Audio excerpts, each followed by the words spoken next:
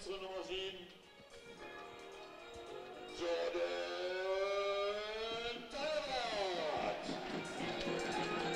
So, Jörn und ich, wir sitzen hier mittlerweile auf unseren Kommentatorenplätzen. Gute Sicht? Ja, sehr gut. Also ich glaube, mit die Hast beste du es schon mal Sicht. gemacht? Ja, wir, ich habe das ab, ab und zu mal gemacht. Wir hatten ja letztes Jahr auch äh, das Glück, dass der MDR da war. Ähm, auch mit der Kombination mit der Staffel von Daniel. Äh, das war schon genial. Also wenn ihr dabei seid. Um einfach mal zu zeigen, auch den Leuten draußen zu zeigen, was hier abgeht. Ja. Du hast ja gesagt, ihr habt sonst äh, knapp 1000 Zuschauer hier in der Halle. Wenn man jetzt Vorstand Marketing ist, wie, wie müde sitzt man denn in so einer Halle, wenn man sieht, wie leer die dann eigentlich dann doch ist an Tagen? Ja, es ist äh, ärgerlich, zumal die, die Fankultur ja auch Wahnsinn ist. Also ich, ich mag es einfach, die Jungs unterstützen uns, die fahren auch mit zu Auswärtsspielen. Und wenn man dann einfach äh, ja, ein Drittel nur drin hat in der Halle, dann ähm, ist das nicht so schön. Auch für die Jungs unten auf der Platte. Das, ja, es, es pusht halt einfach noch mehr, wenn die Halle hier voll ist mit 1000 Leuten und die flippen hier komplett aus, wenn du einen Dreier triffst. Ähm, das, ist, das, das merkt man. Aber was mir schon aufgefallen ist als Fußballreporterin, dass ihr viele äh, 1. FC Magdeburg-Fans äh, zu Ja, sind. ja, ja. Das ist halt die Verbindung. Ja, also es ist ja auch so. Äh, auch ich gehe ab und zu mal zum Fußball und ähm, ja, wir haben hier drei, vier, fünf große Vereine. Der FCM ist halt der größte mit. Und ähm, aber die, die Fans sind halt im Stadion um 14 Uhr meistens und kommen dann zu uns danach, weil wir um 18 Uhr mal spielen. Und äh, das ist schon schön. Ja, dann kommen die meistens jetzt aktuell ja mit Musik immer äh, im Gepäck hierher und äh, dann versuchen wie wir heute das genau, gegen genau, Freiburg, genau, genau. Und dann versuchen wir das gleiche hier nachzuziehen. Und äh, ja, das ist schon schön. Du hast ja selber Volleyball gespielt. Was hat denn dich dann beim Basketball gecatcht, dass du dann hier landest? Ja, äh, so was, was hat mich getoucht? Also ich, ich bin im Marketing aktiv gewesen. Ich war äh, in, in Wolfsburg äh, im Marketing und äh, bin dann hier über meinen Arbeitgeber, die SBB auch die Hauptsponsor sind, ähm, zum Basketball gekommen, zusammen mit dem Dirk Uhlemann, ähm, der ja nachher auch noch sprechen Genau, wird. im vierten Viertel, genau. genau, da, da, so bin ich hergekommen zum Basketball. Ist dein Puls jetzt normal oder bist du jetzt so dreieinhalb Minuten vom Spiel dann schon aufgeregt? Also mein Puls beginnt eigentlich am, am Heimspiel immer um 13 Uhr, weil dann bin ich in der Halle zum Aufbauen von den ganzen, weil wenn man das hier sich anschaut, das ist sonst nicht normal. Die Halle sieht ganz normal wie eine Sporthalle aus. Also da sind viele Helfer dabei, die genau das so herrichten, wie es jetzt ist. Allein die Bodenaufkleber, die müssen jedes Mal nach dem Spiel abgezogen werden und vor dem Spiel aufgeklebt werden. Ähm, also ab 13 Uhr geht mein Puls hoch, ist dann so gegen 17 Uhr am Höchstpunkt mit, weil ich hoffe, dass alles geklappt hat. Und eigentlich vor dem Spiel, dann denke ich mir, okay, jetzt kann nichts mehr passieren und dann geht er eigentlich wieder runter, weil jetzt sind die Jungs auf der Platte dran. Aber wenn man jetzt so in die Zone schaut, dann sieht man schon ganz viele diverse Sponsoren. Ist das quasi auch euer Modell, dass man äh, diesen Basketball hier auf mehrere Füße verteilt? Ja, wir wollen, wir haben ja ein Konzept dahinter stehen. Ähm, wir, wir wollten ja auch von Anfang an hoch, ähm, haben da einen Fünfjahresplan gehabt, der das halt vorgesehen hat. Wir sind aus der Oberliga gekommen und sind halt auf vernünftigen Grundlagen mit den Sponsoren im Rücken einfach ja, gewachsen, um, um jetzt da zu sein, wo wir jetzt sind. Und wir wachsen weiter, was, was super ist. Ähm, und bieten, denke ich, auch den, den Zuschauern und auch den Sponsoren hier eine Möglichkeit, sich anzubieten, um, um auch weiterzugehen. Ja. Das Wachstum hat aber ja ein paar Ehrenrunden doch dann drehen müssen, es dann mit dem Aufstieg geklappt hat. Hat dann so das Zittern hier dann doch begonnen, oder? Ja, also als es dann hieß, dass äh, Königs Wusterhausen dann nochmal ein Veto eingelegt hat und auch aufsteigen möchte, ähm, da haben wir alle bloß gedacht, oh, warum, lass uns doch einfach hoch. ähm, ja, aber ich glaube, das hat die Jungs auch nochmal sehr, sehr gepusht und dann da hat man halt einfach gesehen, die hatten Bock, die wollten unbedingt hoch. Und das Ziel, was wir vor zwei Jahren eigentlich schon haben wollten, da uns aber damals gegen den Aufstieg entschieden haben, aufgrund wirtschaftlich einfach wegen Corona, wir wussten nicht, wie das weitergeht. Ähm, ja, und haben es dieses Jahr einfach dann, beziehungsweise letztes Jahr ist es ja jetzt schon, ähm, ja, den Weg einfach gegangen in die zweite Liga. Also seid ihr jetzt optimistischer, was Corona angeht, dass man das halt wirklich auch durchhalten kann, weil gerade für Vereine, die jetzt nicht mit Millionensummen jonglieren, das ja eine sehr, sehr herausfordernde Situation ist. Au- Auf jeden Fall. Also ähm, zum Schluss müssen wir, glaube ich, ähm, ja, mit dem Coronavirus leben, äh, leben aktuell. Ja, und das auch irgendwann lieben lernen wahrscheinlich. ja, leider. wahrscheinlich, wahrscheinlich, ja. Also äh, deutscher Versprecher, ja. Ähm, aber ich, ich, ich, ja, wir müssen es halt einfach machen. Wir nehmen jetzt das so auf, auch mit den Zuschauern, mit den 270. Wir sind froh, dass wir überhaupt Leute reinlassen dürfen, weil Geisterspiele sind einfach nicht für den, für den Fan schön, für uns nicht schön, für die Spieler nicht schön.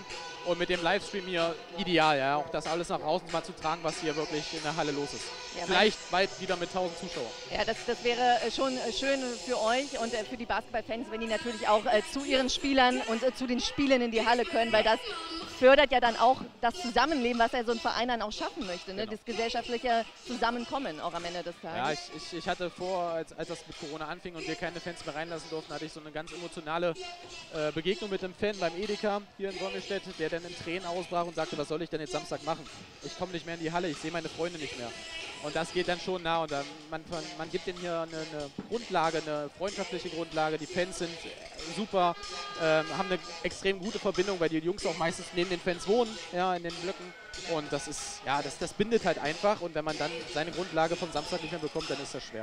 Wir haben gerade Eiko Potters gesehen, wie er nochmal eine Ansprache hält. Was äh, wird er jetzt diesen Männern nochmal mit auf den Weg geben, kurz vorher? Ja, ich glaube, jetzt gibt es noch ein paar Kleinigkeiten, äh, was die Jungs jetzt am ersten spielen, wer, wer auf der Platte steht. Ähm, und äh, ja, jetzt gibt es einfach nur noch mal Push, Push, Push und dann, zwei, man hat gerade gesehen, zwei, drei Spielsysteme hat er noch mal kurz aufgezeichnet, Ja. was er jetzt wahrscheinlich am Anfang gleich spielen möchte. Und äh, ja, jetzt werden wir sehen.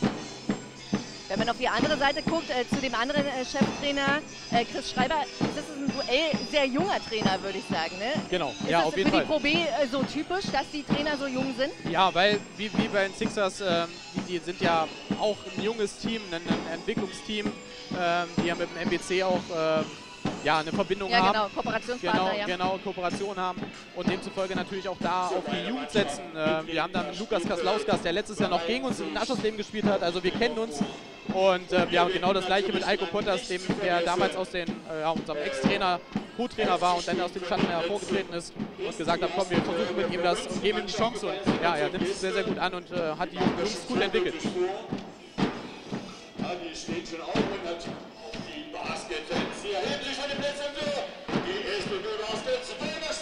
Was ist zu Beginn dieses äh, Spiels jetzt wichtig?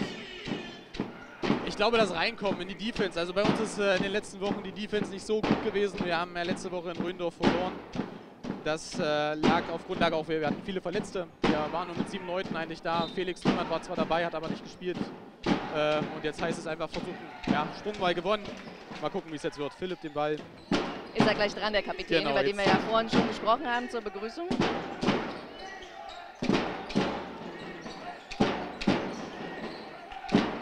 John, unser Ami, der letzte Woche auch nicht dabei war. Und da sind die ersten zwei Punkte.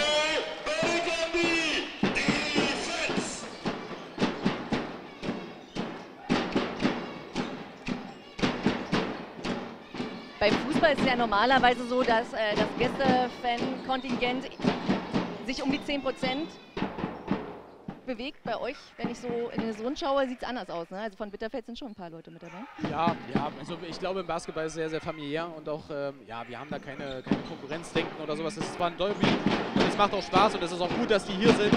Dadurch kommt ein bisschen Stimmung auf, aber äh, wir haben ähm, ja nicht das, das äh, wie beim Fußball, dass du sagst 10% nur, das, das geht nicht. Ja. Und da waren die 24 Sekunden, wenn ich so gesehen habe, abgelaufen, richtig, Genau, bei dem genau, Angriff. Genau. richtig. Deswegen sind jetzt wieder die Baskets dabei.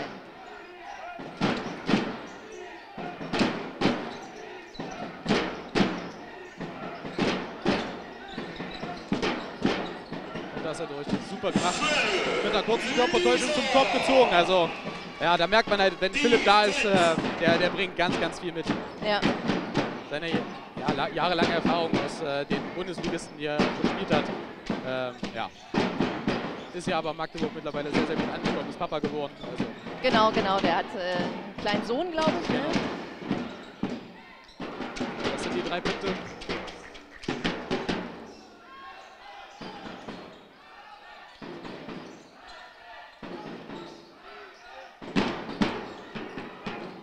Gute Defense. Das war frech, ja? Ja. Oh, Und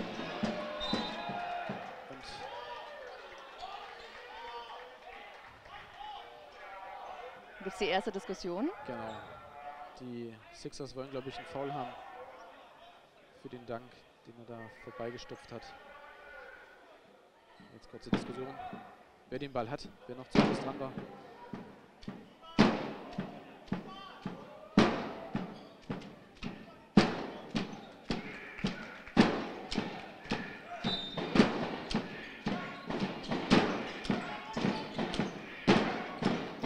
Sixers sind wieder am Ball. Genau, Lukas Kaslauskas, der wie gesagt letztes Jahr noch bei Artesem gespielt hat auch. Und da auch eine sehr, sehr gute Saison gespielt. Und Oh, der saß aber, der saß, ja.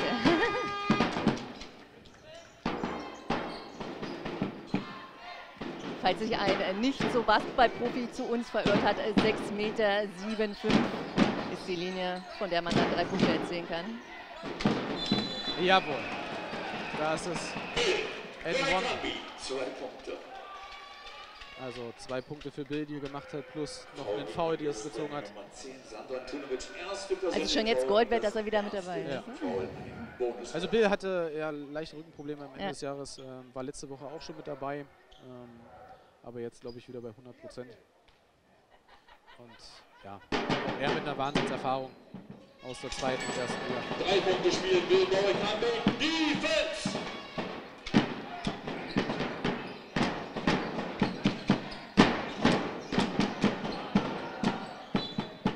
Was macht das mit euch, dass äh, Jeremy's äh, Woods euch verlassen hat? Ja, also das war ja, ähm, wir haben darüber gesprochen, ähm, war ja auch lange verletzt, äh, hat jetzt die, die letzten, letzte Spiel äh, vor Weihnachten noch mitgemacht Mhm. ähm, und hat sich dann einfach auf beide, also in einer vernehmlichen, äh, ja, getrennt. Ähm, mal schauen, wo er jetzt unterkommt, ob er überhaupt noch weiter spielt oder nicht, äh, weil er wirklich mit Verletzungen zu tun hat in den letzten Jahren. Auch das hat er öfter gehabt. Und äh, ja, wir werden sehen, wo er, wo er vielleicht unterkommt. Freuen würde es mich für ihn. Äh, wir werden sehen. Also zwei Punkte für die Sixers. Steht gerade 8 zu 7 aus Sicht der Sixers in der Minute 7 sind noch zu spielen.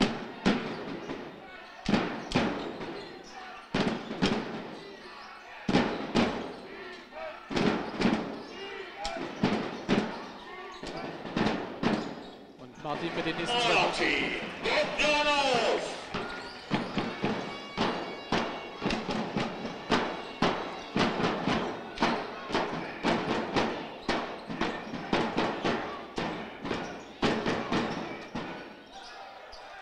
Gute Defense. Und jetzt macht er schnell das Spiel. Martin Stöhner. Oh. Wow. Wahnsinn. Ja, Martin seit dieser Saison auch erst bei uns. Ähm, super, super Junge. Ähm, arbeitet bei uns bei SBB jetzt auch im, im Personalbereich. Ähm, ja, das ist auch, mit dem kann man auch mal ein Bier trinken gehen abends.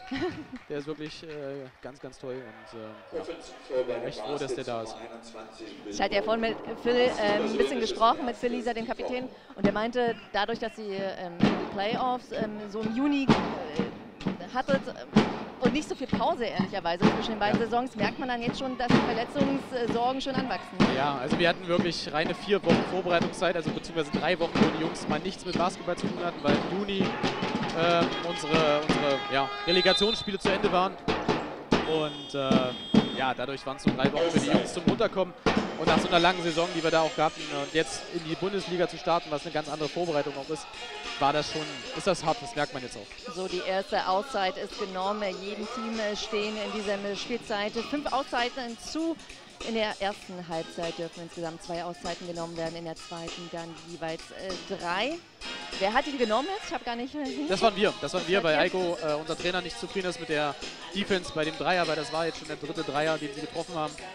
Ähm, und ich glaube, da hat Eiko zu, ja, einfach die Faxen dicks, auf gut Deutsch gesagt, ähm, und erklärt den Jungs mal, wie sie halt Sind es dann Zuordnungs- oder Raumprobleme? ja, sowohl als auch. Also äh, ich glaube, da sind äh, einige, einige Positionen, die nicht gehalten werden. Äh, wir switchen halt auch, aber ja, das wird dann wahrscheinlich nicht ganz so durchgezogen, wie das äh, ausgemacht ist. Die Jungs haben ja gestern Videoanalyse gemacht und dann wird ja genau alles bestimmt, wo wer spielt oder gegen wen er spielt und auch mit dem Switch und allem drum und dran. Ähm, und da ist Eiko, glaube ich, gerade nicht damit zufrieden, was, was sie gestern besprochen haben, weil es nicht umgesetzt wird.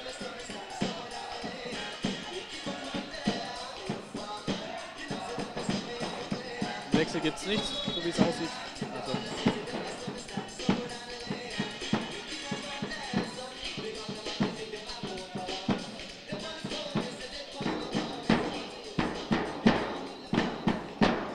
Ist der Cheftrainer dann eher jemand, der ruhig analysiert oder dann eher schon aufbrausend? Nein, Eiko ist, al- also es gibt ja den, den zwei Trainercharakter, ähm, den von Bayern München, den Trikeri, der komplett ausflippt. Und dann gibt es äh, einen wie Eiko Pottas, äh, der wirklich komplett ruhig, äh, auch mal laut werden kann, aber wirklich sachlich und das auch wirklich auseinander nimmt, die Situation. Und ähm, ja, das ist schon schön anzuschauen, ja. John mit zwei Punkten. Jordan, Teilbart, Defense. So, jetzt können wir gleich mal gucken, ob sie es denn besser machen. Genau, genau. Ja, ist wieder frei. Naja.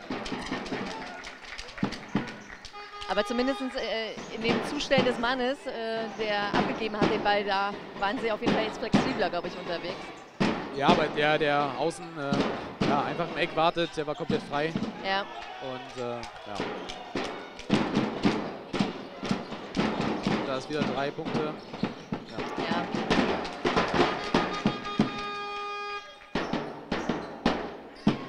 Steht aktuell 16 zu 13 für die Sixers.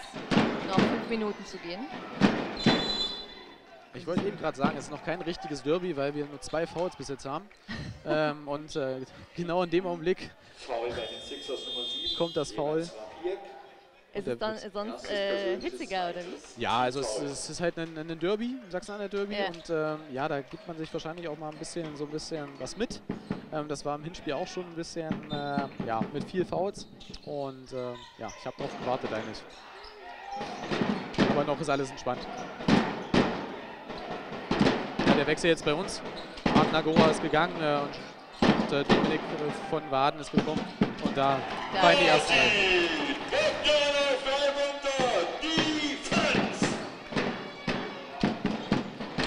So, jetzt können sie sich nochmal beweisen. Ja. Dominik hatte das Mismatch unterm Kopf gerade. Da ist er. Ja.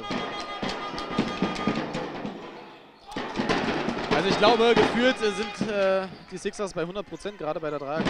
Ja, ich wollte gerade sagen, also sie haben ein sehr, sehr glückliches Händchen oder viel Ja. Talent, was das angeht. Gut eingeworfen vom Ja. Spiel, würde ich sagen. Ja, es ist halt auch ein, ein äh, Spiel dritter gegen fünfter Platz. Die Sixers haben ja noch ein Spiel weniger. Ähm, wir sind ja eigentlich, wenn sie das gewinnen, das Nachholspiel aktuell punktgleich oder spielgleich. Ist halt ein Duell auf Augenhöhe, ja. Ja, Gute Defense von Martin. Ah, umso spannender und umso schöner dann für den Zuschauer, hoffentlich hier in der Halle und auch bei uns natürlich. Stream. Zuvor Martin Bogdanov und Philipp Isa den Ball geholt. Und gemeinsam Defense. So ein Aufstieg, der bietet ja natürlich auch immer Chancen, aber auch Herausforderungen, die man nehmen muss. Wie sieht es denn um eure Nachwuchsarbeit aus? Ja, also wir haben Jugendtrainer, wir haben, äh, was, was wir ganz, ganz stark machen, ist äh, Basketball auf Englisch. Da haben wir mehrere AGs, ähm, die wir auf den Schulen verteilt haben, ähm, wo sozusagen unsere Profis in den Schulsport hineingehen und mit den, mit den Kindern auf Englisch versuchen, Basketball oder Mhm. zu spielen. Und ähm, das ist so ein Vorzeigeprojekt, was wir hier in, in Wolkenstedt halt mitentwickelt haben. Und äh, das ist äh, für die Kids überragend, weil sie wirklich diesen Englischcharakter, ja beim Spielen verliert man so ein bisschen die Scheu, Englisch zu sprechen und äh, mit Basketball verbunden. Und wenn dann ein John Talbot oder einer von unseren ausländischen Spielern hineingeht, äh, dann ist das schon mal, wow, wer ist, bist du denn? Das sieht schon gut aus. Deiner Sicht, aus Marketing-Sicht, wofür steht der Basketball aus Wolmirstedt? Ähm, für, für was der steht oder aus was der Genau, für Ja. was er steht. Also wir, wir haben hier diese Kombination aus ähm, regionalen Firmen, die wirklich bei uns hier unterstützen, die dabei sind, ähm, die, die schon lange dabei sind vor allen Dingen. Also wir haben ja mit der, mit der Kantine, äh, die uns von ersten Tag an unterstützt, wo die Jungs zum Mittagessen gehen können, ähm, bis hin Humanas, die, die ja auch beim Fußball sehr aktiv Ja. sind und äh, hier aus der Region kommen. Jörg aber haben, genau. Genau. Aber dann haben wir auch natürlich auch andere ähm, Firmen wie, wie einen Sika, die äh, deutschlandweit bzw. international agieren, ähm, wo Belgrad äh, in, der, in der Euroleague spielt und auch die gleiche Werbung dann mit Sika fährt wie wir. Also da sieht man schon, dass wir großflächig aufgestellt sind, auch eine große Fläche geben können und hier, glaube ich, in der Region ähm, ja, nach den Sixers ähm, so mit das, ja, in Sachsen-Anhalt aktuell die Nummer zwei Aber auch, auch die. Stadt so ein bisschen prägen durch den Basketballsport? Ja, also wir, wir legen ja den Fokus hier auf Wolmirstedt. Äh, ich glaube, vorher kannte keiner aus Deutschland äh, Basketball Wolmirstedt. Ähm, wir haben ja früher zweite Bundesliga hier auch gespielt. Ähm, das äh, waren ja die Euro Baskets. Und da hat man ja schon höherklassig gespielt. Also wir haben sozusagen Wolmirstedt mit den SBB Baskets wieder auf die Landkarte gesetzt im, im Profi-Basketball. Und da sind wir auch stolz, weil Wolmirstedt gehört Basketball, Basketball gehört zu Wolmirstedt. Und das ist das Entscheidende. Ja.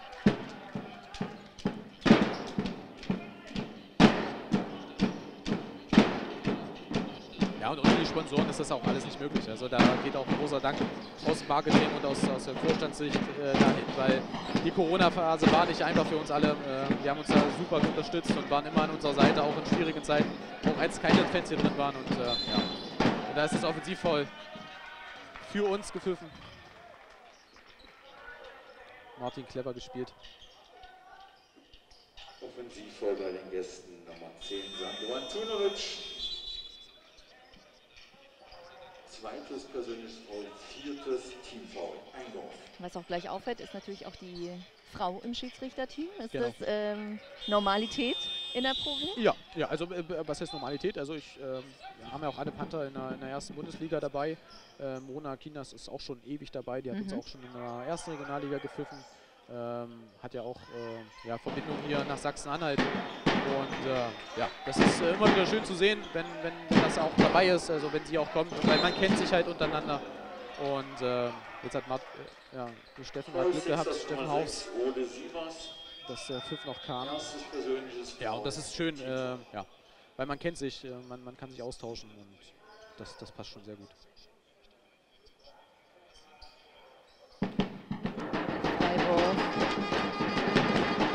Möglichkeit für den Punkt. Oh, Wenigstens 50 Prozent, das wäre ganz gut.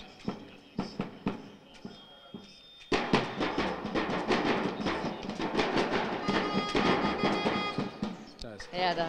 Die 50 Prozent sind im Kasten. Ja, jetzt äh, verteidigt Dominik gegen Lukas Kaslauskas. Dominik ist ein guter Defense-Spieler. Flink.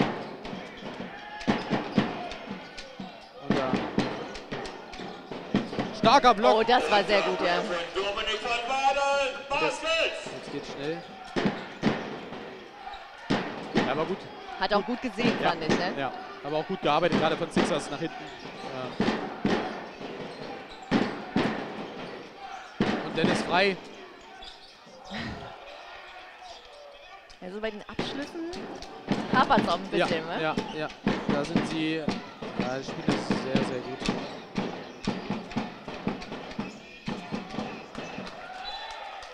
Das ist so ein Abstimmungsfehler, Ja. oder? Naja, das war ein Lauffehler, glaube ich einfach. Also da dachte er, da, äh, Lukas Kaslauska steht, glaube ich, ein bisschen weiter hinten.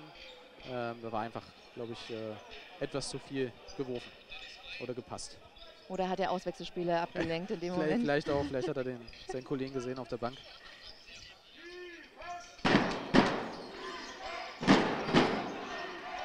So, die letzte Minute. Letzte Minute läuft, es steht 19 zu 21.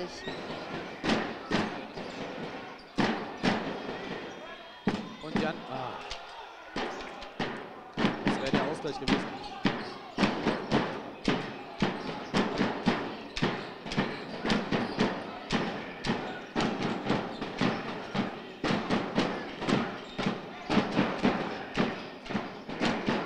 Ja, und ich sag auf jeden Fall schon mal Danke, dass du an meiner Seite warst in diesem ersten Viertel. weil Wir würden ja dann auch äh, gleich nochmal umswitchen auf äh, Thomas Scharschmidt. Auch er hat natürlich viele interessante Geschichten mitgebracht rund um den Basketball in Sachsen-Anhalt.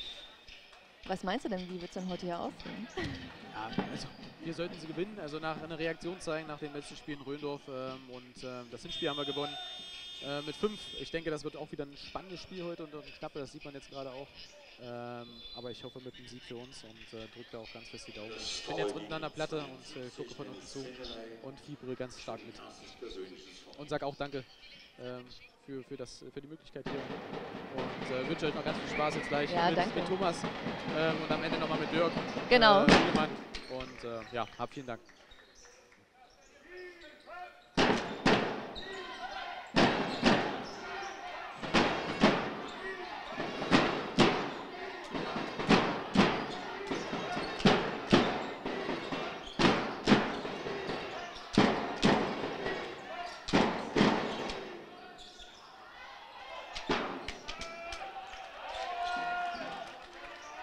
Marc mit drei. Ja, wir treffen einfach noch nicht aus. Ja. Das ist etwas, was wir noch ein bisschen anpassen könnten ja, für den Ja. nächsten kommenden Viertel. mal, bin gleich mal gespannt auf die, äh, auf die Quoten, die wir haben, wenn ich das gleich bekomme. Nummer 9, Ähm, aber ich glaube, nicht ganz, ist nicht gut. Erstes persönliches Foul, viertes Team. Vier Sekunden.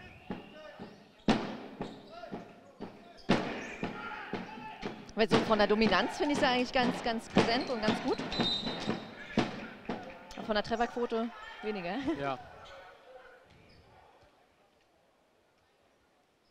So, und wieder ein paar Foul bei den Baskets. Nummer 72, Dennis Zähler.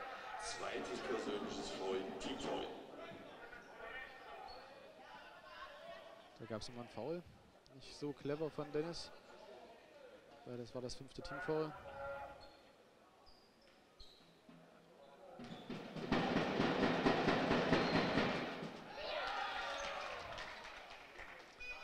Gut für uns. Ja.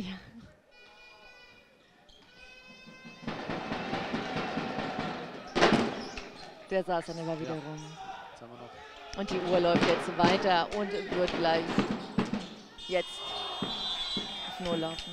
Herzlichen Dank, Jörn. Danke auch. Und Wir machen hier einen fliegenden Wechsel zum nächsten. Das war Thomas Scharschmidt, wird jetzt gleich zu uns vor mir auf die Kommentatorenposition und das zweite und dritte Viertel mit uns gemeinsam sich anschauen.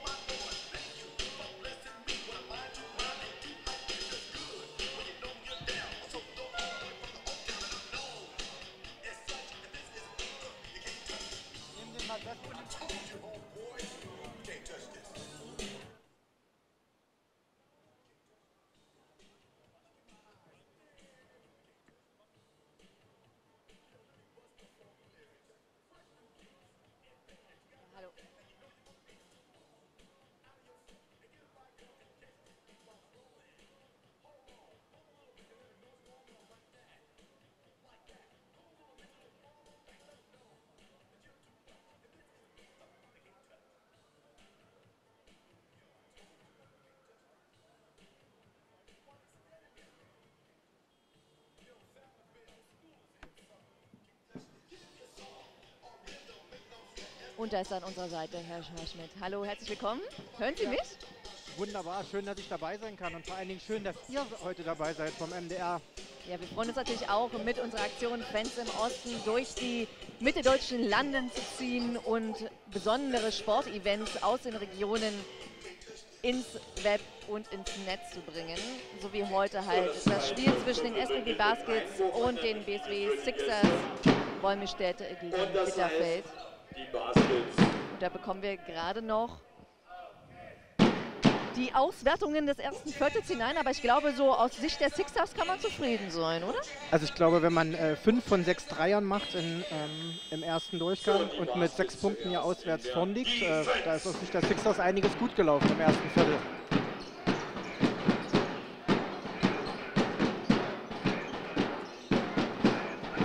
Sie haben ja selbst schon mal ein Spiel co-kommentiert, habe ich gehört, von meinem Kollegen Daniel George. Das Aufstiegsspiel, richtig?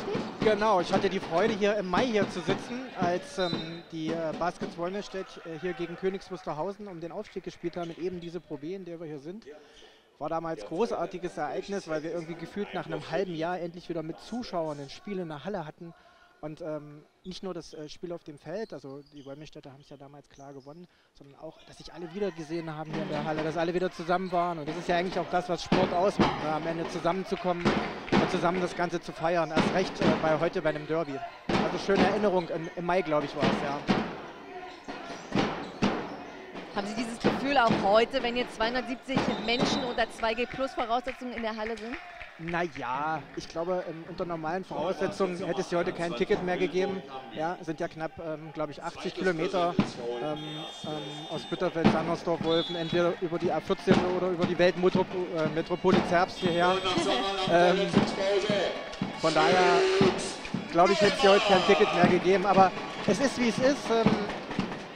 Es sind zwei Fangruppen hier, das ist schön. Links von uns die Sixers. Ich Genau. glaube, man hört es deutlich, oder? Man hört und spürt es auch deutlich Ja. im Körper drin, die Vibration der Trommeln. Ja? Ja. Und wenn ich da unten aufs Feld gucke, habe ich das Gefühl, die Jungs sind schon so, ich würde mal so sagen, 6 bis 9 Prozent mehr motiviert als sonst. Obwohl es ja sehr, sehr fair zugeht, oder? Ist alles im Rahmen aktuell noch. Ja. Ähm, glaube aber, wenn dieses Spiel eng bleibt, und äh, davon gehen ja die meisten Beobachter aus, äh, werden wir hier doch schon vielleicht sogar noch die eine oder andere Nicklichkeit geben.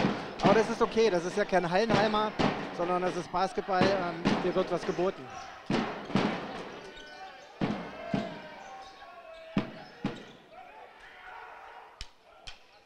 Aktuell die Sixers mit acht Punkten vorn.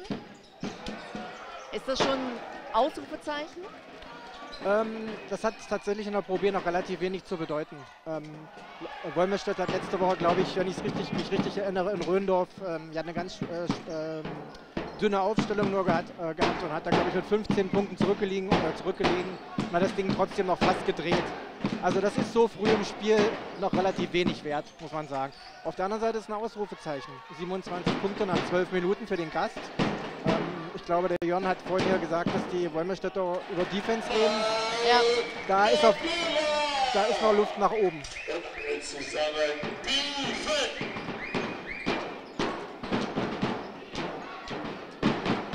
Wenn sie halt äh, aus Sicht der Baskets ein bisschen erfolgreicher bei diesen äh, Dreierwürfen wären, dann äh, könnten sie auch relativ schnell wieder rankommen. Ja, da, es ist ja eine, eine der alten Weisheiten. Ein Dreier zählt eben drei Punkte. Da ist man relativ schnell dran. Ähm, ich habe hier die Statistik, wie gesagt, fünf Dreier für die Sixers ähm, vom, äh, von Beginn an. Ähm, wobei ich das Gefühl habe, das Spiel der ähm, Wolmerstädter findet eher am Korb statt. Ja, da wird viel am Korb gearbeitet. Ähm, ist ja auch ihre Stärke, ohne Zweifel. Felix Neumann jetzt auch wieder ähm, für die Wolmerstädter im Spiel. Ich glaube, er war viele Monate raus jetzt. ist heute sein erster Einsatz. Ja, ich glaube, er hatte irgendwas am Knie. Ja, Ich glaube, man sieht ihn auch noch leicht an, wenn er läuft. Die 34 ist gerade im Bild. ja Felix hat grundsätzlich einen äh, nicht, nicht überdynamischen Laufstil, drücken wir es mal so aus. Ja, aber er macht das mit, äh, er weiß, wie man seinen Körper einsetzt unter dem Korb. Und Ja, und, und Mentalität wahrscheinlich bringt absolut, er extrem viel mit. Ne? absolut. Ist ja auch das, der Publikumsliebling hier Ja, also. Aber das meine ich jetzt. Wie er so quasi so ein bisschen beim Anlaufen, habe ich das Gefühl, tut es ihm dann doch schon noch ein bisschen weh. Es zwickt irgendwo. Naja, so eine halbe Weihnachtsente vielleicht oder eine Viertel Weihnachtsente, glaube ich, ist hier und da noch sichtbar bei ihm aktuell. Ja. Schönes Duell da jetzt auch unterm Korb gegen Sören Urbanski, der größte Spieler auf dem Feld. Mit der Nummer 51, Sören Urbanski. Genau, ist ein Neuzugang, ne? Ja, ist vor dieser Saison gekommen zu den 2,14 Meter Sixers. groß. Und wenn er vor einem steht, Sabrina, ist er sogar noch größer, hat man das Gefühl. Also wirklich, es ist ja teilweise so, wenn man von oben auf das Spielfeld guckt, sehen die Jungs ja schon Ja, ja, groß genau, aus. Oder? Ich ja. weiß nicht, wie groß bist du? 1,75. Okay, das ist ja schon eigentlich relativ Ja, groß. aber wenn ich neben 2,14 Meter stehe, ist es Da halt sehr, nichts. sehr klein. Da geht gar Wobei ich äh, vorhin gesagt habe, dass ich äh, äh, durchaus äh, ein paar Männer kenne, die über zwei Meter deutlich sind. Und was mir bei ihm auffällt, ist, dass er sehr, sehr proportional und sehr äh, trotzdem gut gebaut ist, ja, und dass es nicht irgendwie ähm, komisch aussieht, ähm, sein Körperbau. Und ich glaube, dass es ja auch ganz hilfreich ist, äh, wenn man dann diesen so sportlich einsetzt. Ich würde das mal so stehen lassen. ich werde das jetzt nicht weiter. Es gibt ja so manche, die sehen halt mit 2,10 Meter oder 2,14 Meter. Also das Leben mit zwei Meter, ich glaube ab zwei Meter ist das Leben, glaube ich, eins, das wir uns sehr schwer vorstellen können. Ähm, ich weiß, in seiner Wohnung in Sandersdorf es, braucht er ein relativ großes Bett, denn ähm, versuch mal ein Bett für jemanden zu kaufen, der 2,14 Meter äh, 14 groß ist. Ja, also Muss er zwei kaufen. Die meisten Jungs liegen ja quer drin, ja, oder machen das so. Aber er hat sich toll entwickelt und ist ein interessanter junger Spieler, wie er, äh, wenn man mal zwei Spieler von den Sixers wegnimmt, ähm, den Dänen Frederik Rungby und Lukas Kaslauskas, die zwei ähm, Ausländer, ist ja eine extrem junge Mannschaft. Ja, Ja. Anfang 20 alle. Ja, und die Wolmenstädter eher so ein paar erfahrene Spieler noch dabei haben. Also interessantes Duell. Und im Übrigen muss ich sagen, dass wir hier in Sachsen-Anhalt zwei Teams in der Pro B haben, die auf so einem Level gegeneinander spielen. Das ist schon geil, kann man nicht anders sagen. Und weiter geht's für die Baskets. Jetzt zum ersten Mal auch äh, zweistelliger Vorsprung bei den, äh, für die Sixers. 10 vor.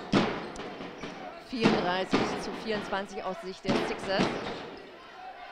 Eure Nummer 7, Rapik. Habe ich richtig ausgesprochen? Ja, ich habe es auch erst lernen müssen, Evans Rapiek. Okay. Ja, aber ich habe es auch schon dreimal falsch ausgesprochen. Ist ja auch ein Talent, was ihr euch Absolut. gesichert habt. Ne? Absolut. Ähm, Evans ist vor der Saison aus Bernau gekommen, hat dort im Programm ähm, Lok Bernau und ähm, Erstligist Alba Berlin gespielt. Ähm, hat jetzt diese Doppellizenz äh, bei den Sixers ähm, und beim MBC und hat sich daher auch schon jetzt, ich glaube, erst in den Top 10 der Woche in der ersten Liga, hat er einen unfassbaren Dunking in der letzten Sekunde gemacht beim MBC. Also seine Minuten in der ersten Liga sind jetzt noch nicht viele, aber entscheidend ist ja für junge Spieler im Doppellizenzprogramm, ähm, dass sie die Möglichkeit haben, dort eben auch wirklich zu spüren, ich komme da oben an, ich, ich kann da Erstliga-Luft schnuppern, denn egal wie es mit der Karriere weitergeht, wenn du einmal in deiner Dings stehen hast. Das ist wie bei dir, wenn du einmal das ganz, ganz große Ja. Gala moderierst beim MDR, ja, dann hast du es. Und genauso ist es bei ihm. Die fünf Minuten BBL, die kann ihm jetzt erstmal keiner mehr nehmen. Die kann ihm keiner mehr nehmen. Nee. Und darauf kann er halt auch aufbauen. Und ist das Absolut. auch quasi so ein bisschen äh, das Aushängeschild der Pro B, dass man äh, durchaus da Möglichkeiten geben kann, den Jungtalenten sich hier zu zeigen? Die, die Pro B hieß ja mal die junge Liga, beziehungsweise Pro A, Pro B. Das ist nicht mehr ganz so jetzt. Es gibt insgesamt fünf, äh, fünf Doppellizenzprogramme. Das heißt also Pro B-Teams, die mit, ähm, mit Teams aus der ersten Bundesliga zusammenarbeiten. Sixers sind eins davon. Und da ist natürlich ganz klar die Entwicklung von jungen Spielern immer das A und O. Das ist das Allerwichtigste. Natürlich wollen auch junge Spieler Basketballspiele gewinnen, ja, Ja. ohne Frage. Aber in der Pro B ist, glaube ich, mittlerweile, oder andersrum ausgedrückt, wenn du als junger Spieler nach oben willst, musst du mit 17, 18, 19 in der Pro B spielen. Da musst du rankommen, da musst du dich zeigen. Und ähm, deswegen hat man auch viele interessante junge Leute in der Pro B mittlerweile spielen. Ja. Wolmenstädter haben ja jetzt auch einen jungen Spieler nachverpflichtet. Jan Bergen, wenn ich es richtig. Ähm, Der ist heute auch dabei, genau. genau. Es war, war am ersten Viertel jetzt nicht so gut im Spiel drin, wenn man so seine Statistik hier anschaut. Ja, ich glaube, Jan hat, ähm, muss, es, muss die Basketballwelt heute noch nicht einreisen in den nächsten äh, Wochen, Monaten. Interessante Situation jetzt. 0,5 Sekunden noch für diesen Angriff. Ja, Der Ball wäre A nicht reingegangen und B dann, wenn er zu spät. Ja. Also du hast es ja schon gesagt, die beiden Programme sind relativ bisschen unterschiedlich. Ja, die äh, Sixers, glaube ich, jetzt in der siebten oder in der achten Saison schon in der Pro B. ja. Ja, da ist natürlich viel Erfahrung auch ähm, von, aus der Organisation da. Ähm, Wolmestedt im ersten Jahr, da gehört es dazu, dass man das eine oder andere erst noch lernt. Das ist völlig klar. Aber ich sag mal, für ein Pro B-Team, was hier auf die Beine gestellt wird, alle Achtung, muss man wirklich sagen. Also, Aber die Sixers letzte Saison auch ziemlich gut abgeschnitten, ja? Ja, tatsächlich ähm, das Viertelfinale der Playoffs erreicht, also unter den besten acht Mannschaften der Liga. Ähm, das äh, größte, äh, bisher größte Erfolg überhaupt. Und wenn es am Schluss nicht noch so ein paar dumme Verletzungen gegeben Ja. hätten, äh, die leider dazugehören zum Sport, dann wäre sogar mehr wirklich gewesen. Auch schöne Aktion von Philipp Lieser. Also man merkt das schon, äh, Philipp Lieser hat ja jetzt gefehlt. Ja, die, im die, die beiden Spiele haben sie dann auch gleich verloren, ohne ihn. Ja, Philipp ist schon so ein, also um die 5 Euro ins nicht vorhandene Phrasenschwein zu werfen. Ich ist baue schon, auf. Okay, ist schon ein Dreh- und Angelpunkt, Ja. klar. Und interessant auch bei den Sixers, äh, äh, beide Kapitäne haben ja zuletzt gefehlt, Philipp Lieser hier in Wolmestedt, Marco Rahn bei den Sixers, war viele Wochen verletzt am Knie und es gibt heute auch sein Comeback. Das ist halt, äh, solche Spieler sind so für den Rhythmus der Mannschaft, ja, und, und auch für das Gesamtgefüge halt extrem wichtig. Und was Philipp so mit dem Ball kann und auch ohne, das ist schon äh, für Wolmestedt einer der Schlüsselspieler, kann man nicht anders sagen. Ich würde jetzt mal behaupten, im Fußball, wenn da der Kapitän fehlt, ist es schlimm, aber nicht ganz so schlimm. Na gut, ich könnte jetzt sagen, im Fußball stehen elf auf dem Feld, Ja. also sind dann noch zehn andere Ja. da. Im Basketball sind es nur, ähm, nur fünf. Ähm, der Kapitän hat ja nicht diese, ähm, diese Bedeutung, weil Kapitän dran steht, sondern welche Leistung er auf dieses Feld bringt. Und äh, Philipp ist ja jemand, der den Ball bringt, der aber auch abschließen kann, der selber seinen Wurf kreieren kann. Also er hat ja mal bei Sandersdorf gespielt, vor vielen Jahren schon, noch in dem Sandersdorf MBC-Programm. Und wie gesagt, ist nicht zu Unrecht hier, glaube ich, äh, wird hier nicht zu Unrecht der Schlüsselspieler genannt. Wie haben denn die Sixers ihre Abgänge verkraftet? Bei drei an der Zahl waren es ja. Äh, Pantelic hat Karriereende gehabt, äh, Schmikale muss, ist in die Pro gegangen zu Itzehoe und Petkovic, der Kapitän, zurück in seine Heimat Kroatien. Ja, du sagst es, ähm, die Spieler ähm, Pantelic 36, ähm, Petkovic 33 und ähm, Spikale Mitte 20, das waren die Stützen der letzten Saison, muss man ganz klar sagen. Aber bei Pantelic Karriereende, ähm, er ist jetzt Co-Trainer beim MBC, dort im Übrigen auch noch sehr äh, mit sehr viel Feuer dabei.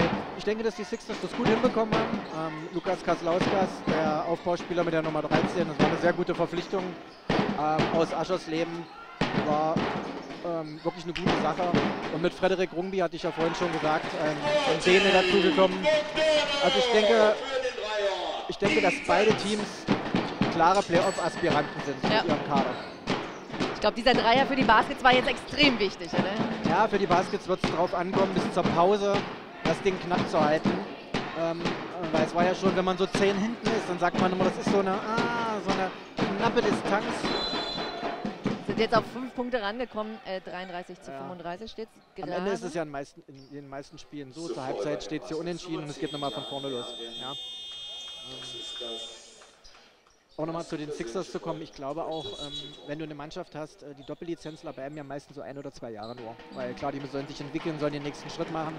Und damit ist Wandel und Wechsel in solchen Teams ja auch relativ ähm, normal. Aber sie haben halt einen Kern halten können dieses Jahr. Ja, Marco Rahn spielt, glaube ich, seine Kapitän vierte Saison.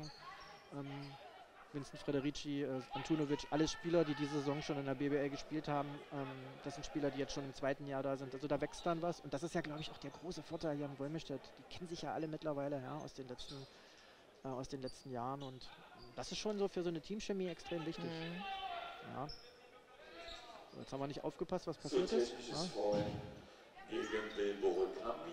Drittes persönliches Foul, viertes Oha. Teamfoul. Aber schon das dritte persönliche Foul gegen Bilbo Rikambi, war ein technisches sogar. Es gibt einen Freiwurf und Wenn ich Wurf. sehe, wie er mit dem Schiedsrichter weiter diskutiert, Ja. tippe ich auf diskutieren. Aber er lässt auch nicht nach, ne? Er geht jetzt nochmal hinterher, jetzt dreht er ab, weil er beruft wird, glaube ich. Schiedsrichter Georgis Polidis hier unten diskutiert nochmal mit äh, Eiko Posta- Potast, der das nicht so richtig wahrhaben will, glaube ich. Und auch auf dem Feld wird weiter diskutiert mit Mona Kinas. Aber gepfiffen ist gepfiffen und drittes Foul für Bilbo Rikambi in der 17. Minute. Das ist ein Tick zu früh für meinen Geschmack. Da ist noch viel Spiel übrig für ihn. Was macht man dann als Cheftrainer? Ähm, tja, was macht man als Cheftrainer? Ähm, manch einer nach dem technischen Foul nimmt seine Spieler erstmal runter, um den erstmal ein bisschen abkühlen zu lassen. Ähm, hängt so ein bisschen davon an, äh, ab, äh, wie man die Situation als Trainer beurteilt.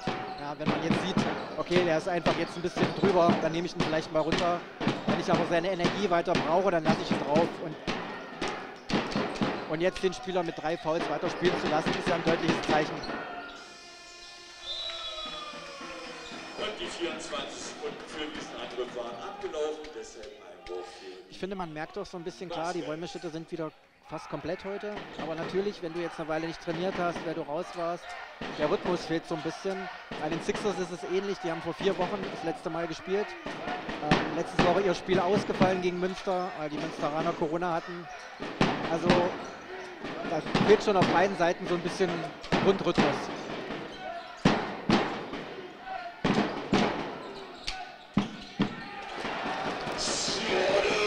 Aber du hast es ja vorausgesagt, Wolmestedt wird sich mit den Dreiern wieder ins Spiel bringen. Weil ich Basketballprofi bin.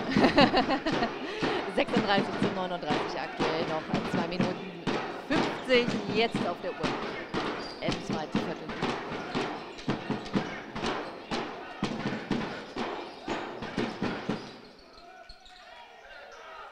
Und die Dreierquote der Sixers äh, Die, die wird jetzt im zweiten Viertel auf jeden Fall nicht so gut sein. absolut. Die konnten sie leider nicht halten. Und jetzt erwischt es auf der Sixers-Seite mit Sandro Antunovic auch einen Spieler mit dem dritten Foul.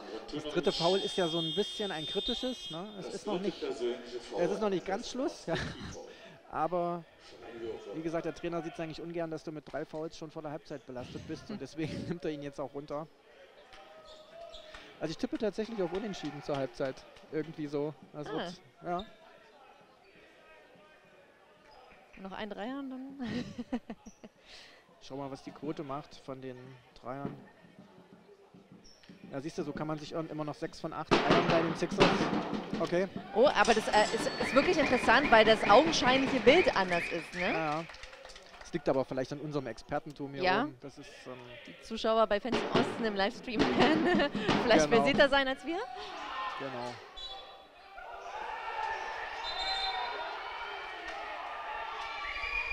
Und du siehst, wie viel Emotionen ein Ja. Ausball äh, Ja. auslösen kann, ja?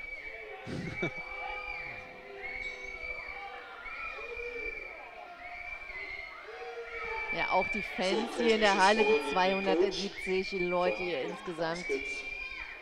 Zeigen jetzt ihre Emotionen und was sie davon halten. Aber deswegen gehen wir ja auch zum Sport ihr übertragt ihn, äh, weil da unten hoffentlich Davon- etwas passiert. Davon Leute, lebt er, ja. Ja, genau, genau. Was die Leute bewegt. Dieser Ball jetzt ein psychologischer Vorteil vor der Halbzeitpause? Ist dieser Ball jetzt ein psychologischer Vorteil vor der Halbzeitpause? Wir ärgern uns, das ist klar, aber am meisten ärgern sich die Spieler.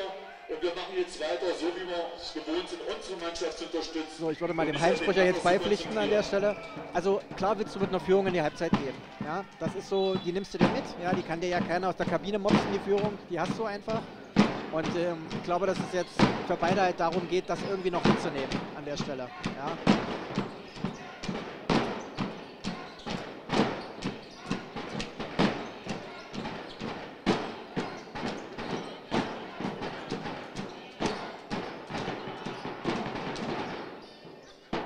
Marco Rahn versucht es immer wieder mit, diesem, mit dieser Bewegung zum Korb hin. Ja. Und wir haben hier in- bei den Und ich würde sagen, Martin Bogdanov hat ihn jetzt vorgemacht. Ja, das ist, das muss man ja wirklich mal sagen, das ist ein richtig guter Basketballer, Martin Bogdanov. Also was er mit dem, ähm, wie er das Spiel liest, auch wann er weiß, wann er zum Korb ziehen kann, ähm, wie er abschließt, ähm, das ist, er war, letzt, er war zum Beispiel letzte Woche nicht dabei in Röndorf. Ja, und das hat man deutlich, das hat man wirklich deutlich gemerkt, ähm, dass er da fehlt. Schaut man dann eigentlich jedes Spiel der Pro B oder wie hält man das mit dem Basketball? Weil es gibt ja dann auch noch andere natürlich beim MBC, die man zum Beispiel schauen kann. Naja, also sag mal, äh, wenn du jetzt mich direkt fragst, Ja? also ich schaue ganz viel. Am letzten Wochenende zum Beispiel, als die Sixers noch nicht spielen konnten, hatte ich, äh, habe ich mir die anderen Spieler angeguckt. Aber ähm, wenn man aus Sachsen-Anhalt kommt und, und Basketball liebt, klar ist, dass man, äh, dass man sich die MBC-Spiele anguckt, macht zurzeit nicht ganz so viel Spaß. Ja, der MBC unten drin steht, aber das ändert ja nichts dran, dass wir alle wollen, dass die Jungs dort ähm, den Klassenerhalt schaffen. Und es gibt in der Pro B schon, äh, die meisten Spiele werden ja im Livestream übertragen. Ihr kommt ja leider nicht zu jedem Spiel, da müssen wir nochmal drüber reden, warum das so ist. Ähm, Das reiche ich gleich weiter an unsere Sendechef. Genau, genau, mehr, mehr Pro B im Programm. Ja. Ähm, aber tatsächlich ähm, äh, werden da viele übertragen und dadurch kann man sich natürlich auch viel angucken aktuell und kriegt viel von der Liga mit. Das ist eine tolle Liga, da ist eine Menge los. 39 zu 14. Mensch, das ist jetzt wirklich super knapp nochmal geworden und wirklich äh, dieses Unentschieden zur Halbzeit, das könnte wirklich stehen hier. Ja, aber wenn du daneben siehst, die Sixers haben einfach nach dem starken ersten Viertel, da waren sie ja mit sechs Tonnen, ähm, jetzt so ein bisschen ihren, ihren Weg verloren. Ähm, Trainer Chris Schreiber, der, sagen wir mal, in neun von oder in neuneinhalb von zehn Situationen ganz ruhig ist, brüllt jetzt hier, ich weiß nicht, ob du es gehört hast. Er, er wies einen Spieler darauf hin, ein gewisses Körperteil jetzt noch mal zu bewegen. Ähm, da haben sie so ein bisschen jetzt den, ihren, ihren Weg verloren. Ja. So, da haben wir die Führung für die Basket 42 Durch zu einen 14. Dreier. Durch einen Dreier, genau. Noch eine Minute 45 sind auf der Uhr. Was wird Chris Schreiber jetzt äh, in der Halbzeitpause ansprechen? Ich glaube, ich glaube, dass ähm, das klingt jetzt vielleicht blöd, aber die Mannschaft muss besser auf den Ball aufpassen. Also die Sixers haben sich jetzt ganz oft den, den Ball klauen lassen. Ja, zwölf Ballverluste bereits ähm, für die Sixers, das ist einfach zu viel, das Ja. darf nicht passieren. Und sie müssen wieder diese Mischung finden, ja, sich nicht nur auf den Wurf von außen ähm, verlassen, zum Korb ziehen, äh, aggressiv sein. Ähm, die Baskets müssen gar nicht so viel ändern. Ich glaube, die haben im zweiten Viertel angefangen, jetzt auch in der Defense einfach härter zu arbeiten. Ja. Die letzte Minute läuft übrigens. Foul bei den Sixers Nummer 7, Evans Rapid. Also ich glaube, Chris Schreiber ist nicht zufrieden. Das sehe ich hier so im Augenwinkel.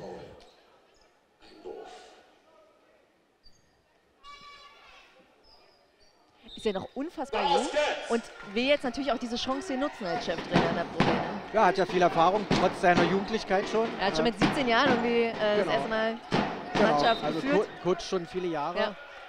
Und ähm, ist schon zwei Jahre Co-Trainer gewesen jetzt bei den Sixers. Dann hat man ihm, äh, war auch beim MBC hat dort die Nachwuchsbundesliga gemacht. Dann hat man ihm die, die Chance auch gegeben, so wie man junge Spieler entwickeln will, muss man auch junge Trainer entwickeln. Und bis jetzt macht er das wirklich gut. Ja.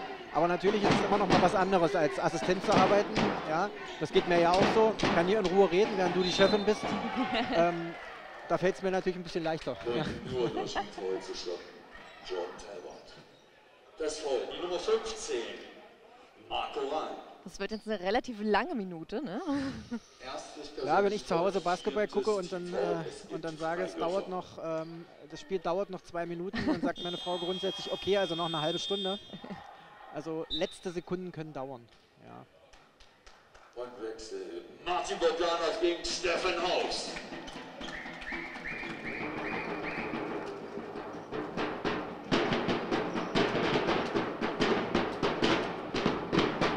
Ja, die ähm, haben sich ja wirklich mit einer guten Wurfquote rangebracht. Ja, 70 Prozent bei den Zweiern, 42 Prozent bei den Dreiern.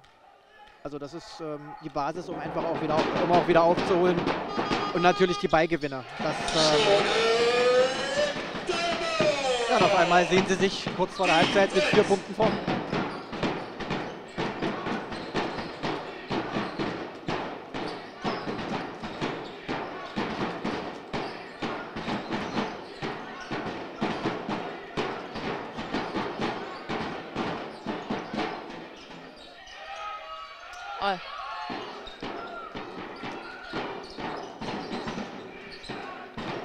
Die Chance für die Sixers jetzt. aber langsam muss die Lösung gesucht werden.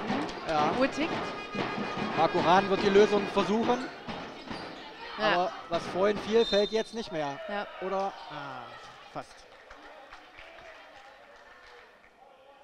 Noch sieben Sekunden auf der Uhr. So, ich lese gerade am Telefon, ich lese gerade am Telefon, meine Frau hört auch zu und hat das gerade Oh. nochmal bestätigt. Dann herzliche Grüße an die Frau. Ja, also dass das noch eine Weile dauern wird. Ich glaube, mit dem Unentschieden zur Halbzeit wird es nichts mehr. Nee, das, äh, Aber das knappe Spiel, was wir uns gewünscht haben, oder beziehungsweise was sich der neutrale Zuschauer wünscht, ich denke, die Wolmerstädter wünschen sich genauso wie die Sixers. Kein knappes Spiel. nee, aber doch, wir auf unserer Position jetzt aktuell, die wir jetzt hier begleiten, können schon sagen, dass wir uns ein äh, enges Spiel wünschen. Absolut.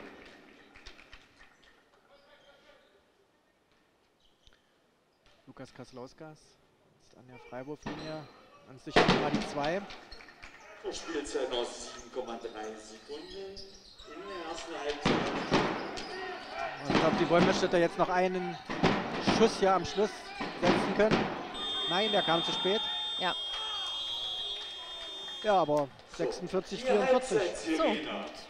Jetzt läuft die Halbzeitpause und ich würde sagen, ich wechsle mal mit äh, Thomas äh, Scharschmidt äh, vor die Kamera, Zu 44. damit wir die Frau dann nochmal von dort grüßen können mit Geheimzeichen. So. Was muss ich dafür tun?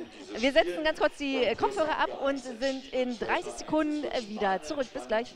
Weitergehen.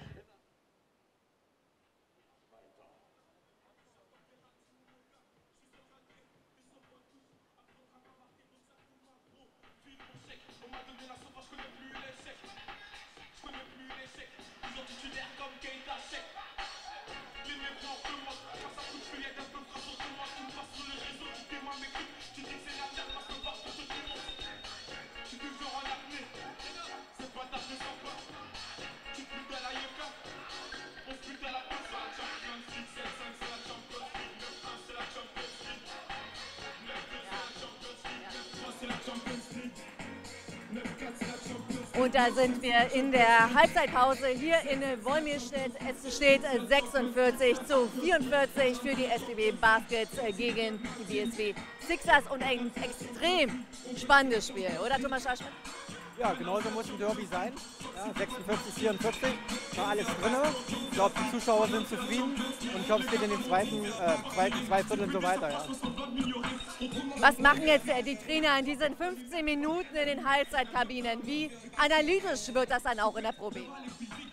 Naja, es, ähm, also ich möchte gerne auch mal Kabinenmäuschen spielen, mal reinhören da, was da so los ist, was sie sich besprechen. Ich glaube, natürlich wird erstmal, werden die Spieler erstmal ein bisschen abgekühlt, die Spieler sollen sich erstmal beruhigen, dann wird auf die Statistiken geschaut, ähm, geguckt, ähm, was war wirklich jetzt ähm, an, an der und der Stelle, was kann man besser machen und dann nach sechs, sieben Minuten kommen die Spieler ja auch schon wieder raus.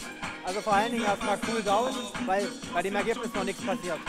Wenn man mal so den Blick über das mitteldeutsche Basketballgeschehen spannen möchte, wie ist es da gerade drum bestellt? Also gerade was so Chemnitz aktuell mit Bayern München anstellt, muss ich ja sagen, erfüllt mein Herz. Ja, ich habe, ähm, du hast ja vorhin schon deinen Kollegen Daniel George ähm, erwähnt, der hat den Tag einen sehr schönen Tweet gemacht, der hat, ge, der hat getwittert, äh, die Sensation ist ausgeblieben, Bayern verliert wieder in Chemnitz. Also der Basketball aus boomt, das kann man nicht anders sagen. Ja, Chemnitz und der MBC in der ersten Liga, zwei Vereine, ist toll. In der Pro A, Jena ist dran, äh, spielt auf jeden Fall wahrscheinlich um den Aufstieg mit und wir heute hier erleben in der Pro B äh, zwei Teams aus Sachsen-Anhalt, die spielen und nicht zu vergessen in der ersten Liga die Lions aus Halle. Also Basketball in Mitteldeutschland, Wahnsinn. Wie wichtig ist denn auch ein starker Basketball-Osten, äh, der ein bisschen Paroli bietet? Ja, äh, wie soll ich sagen? Ähm, wir haben ja, glaube ich, in Sachsen-Anhalt, Sachsen und Thüringen äh, so viele Einwohner zusammen wie im Ruhrgebiet ähm, in einer Postleitzahl. Also ich glaube, dass äh, der Basketball auch eine, ähm, eine unheimliche Identifikationsmöglichkeit für eine Region ist, dass die Leute sich einfach dahinter versammeln. Ich meine, es ist der geilste Sport der Welt, das darf man ja nicht vergessen. Ja. Und ich glaube, dass ähm, in den letzten Jahren da so viel entstanden ist, wo Leute sich auch dahinter klemmen, hinter die Projekte. Und äh, wie sieht es aus mit dem Nachwuchs äh, in Sachsen-Anhalt, jetzt mal spezifisch äh, gesehen als Präsident? Muss man sich da Sorgen machen? Kann man noch was verbessern? Also zum Beispiel Wolmirstedt, die sind ja in AGs unterwegs, verbindet das Sport und Sprache. Ist das der richtige Ansatz, um die Kinder in die Vereine zu Also es gibt natürlich ganz verschiedene Ansätze, um Menschen, zum, Kinder zum Basketball zu gewinnen. Ähm, wir haben jetzt gerade die neue Statistik bekommen, trotz der Pandemie ähm, ist in Sachsen-Anhalt wieder 5% Zuwachs. Das heißt, wir haben knapp so 100 neue Basketballer gewonnen, vor allen Dingen Minis. Und dazu tragen natürlich Projekte wie hier in Wolmisstedt bei, logisch. Äh, die Sixers, wenn man das mal sich anguckt, sind Top 5 in Sachsen-Anhalt in den Vereinen. Wolmisstedt ist eher noch so Top 10. Die Anstrengungen sind super. Da geht aber noch mehr, logischerweise. Weil man wünscht sich natürlich, dass so ein Standort wie in Wolmisstedt in ein paar Jahren noch größer im Nachwuchs ist. Also von daher finde ich die Anstrengungen super. Und wenn man so ein Leuchtturmprojekt wie hier hat, dann wünscht man sich natürlich, dass ganz viele Kinder sich an diesem Leuchtturm orientieren und dann auch hier in die Hallen kommen. Wichtig ist auch der Schulsport? Weil ich hatte auch Basketball in meinen Schulzeiten natürlich, aber man ist meistens beim Sternschritt ehrlich gesagt hängen geblieben.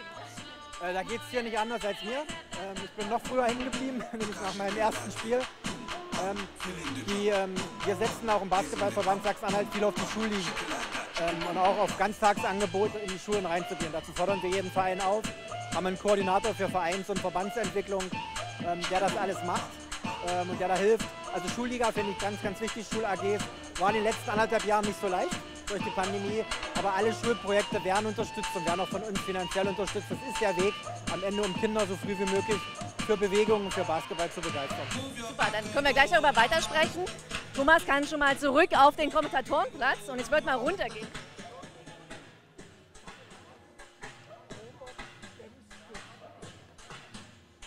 Und Robert Demskis ist äh, bei uns, der Mann aus Lettland, Riga.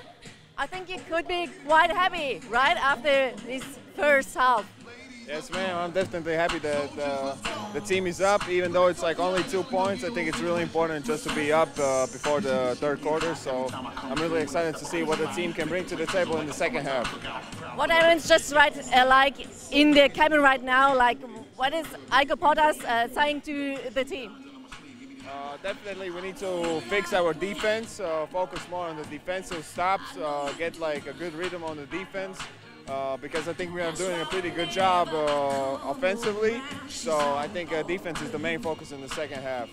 So you have an injury on the elbow, right? How is it going? Uh, it, it's going good. Uh, I'm already started the rehab. Uh, hopefully, I can uh, join the team as soon as possible. Uh, and yeah, uh, physical therapy next week and uh, move from there. What your mental support for the uh, team? Me, can you repeat? Your, your mental support for the team? Of course, of course, you have to be. If I'm on the bench, I'm always going hard for the team. If, if clapping is the only thing I can do, that, that's what I'm gonna do. What about uh, Phil Lisa? He's uh, now has a comeback after uh, two uh, matches he missed. How important is he for the team? Uh, he's definitely one of our uh, biggest weapons and biggest strength, uh, both in both sides, even on offense and on defense. Uh, he's also a team captain, so I think uh, that that status speaks uh, about itself. So, uh, team captain is definitely one of the most important pieces of our team. So I'm glad uh, Phil is back. He's feeling good. He's helping the team, and uh, just happy to see him back. But the best player on the pitch right now is uh, Martin Bogdanov. What, what you just say? Hey. Yeah, I'm about to remember the name Martin Bogdano. As you said, uh, yeah, I like I like Boogie a lot. He he always plays hard, and uh, hey, you can you can see when he gets hot, the ball is rolling. Thank you so much. Ja. Und er wird jetzt nochmal heruntergehen zu seinen Teamkameraden und natürlich auch nochmal ein paar Worte an die Männer richten. Und äh, die kommen jetzt auch zurück aus der Kabine und ich gehe gleich mal wieder hoch zu Thomas Schasch.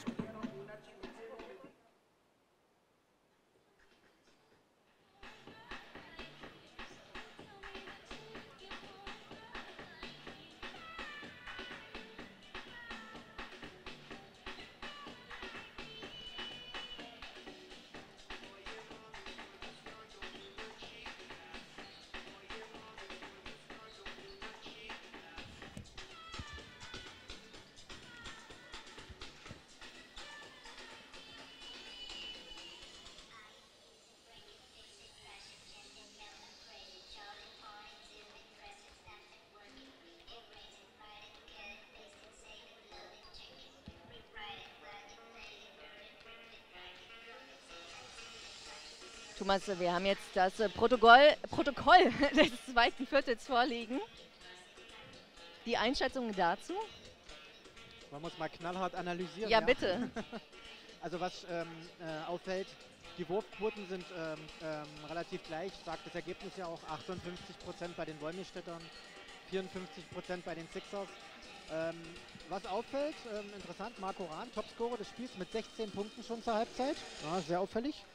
Äh, Martin Bogdanov, 14 Punkte ähm, für die Wolmerstädter. Das ist unglaublich stark ist der heute. Ne? Ja, das ist äh, tatsächlich äh, nach, ähm, nach seiner Pause ein starker Auftritt. Die Sixers klar im Rebound überlegen. Ähm, schon sieben Offensivrebounds, also ähm, Bälle ähm, nach Würfen, nach eigenem Wirken ähm, sich geholt. Aber eben auch, das hatte ich vorhin schon gesagt, zwölf Ballverluste bei den Sixers. Das ist es, glaube ich, am Ende, was jetzt tatsächlich äh, den, den Ausschlag dann gegeben hat.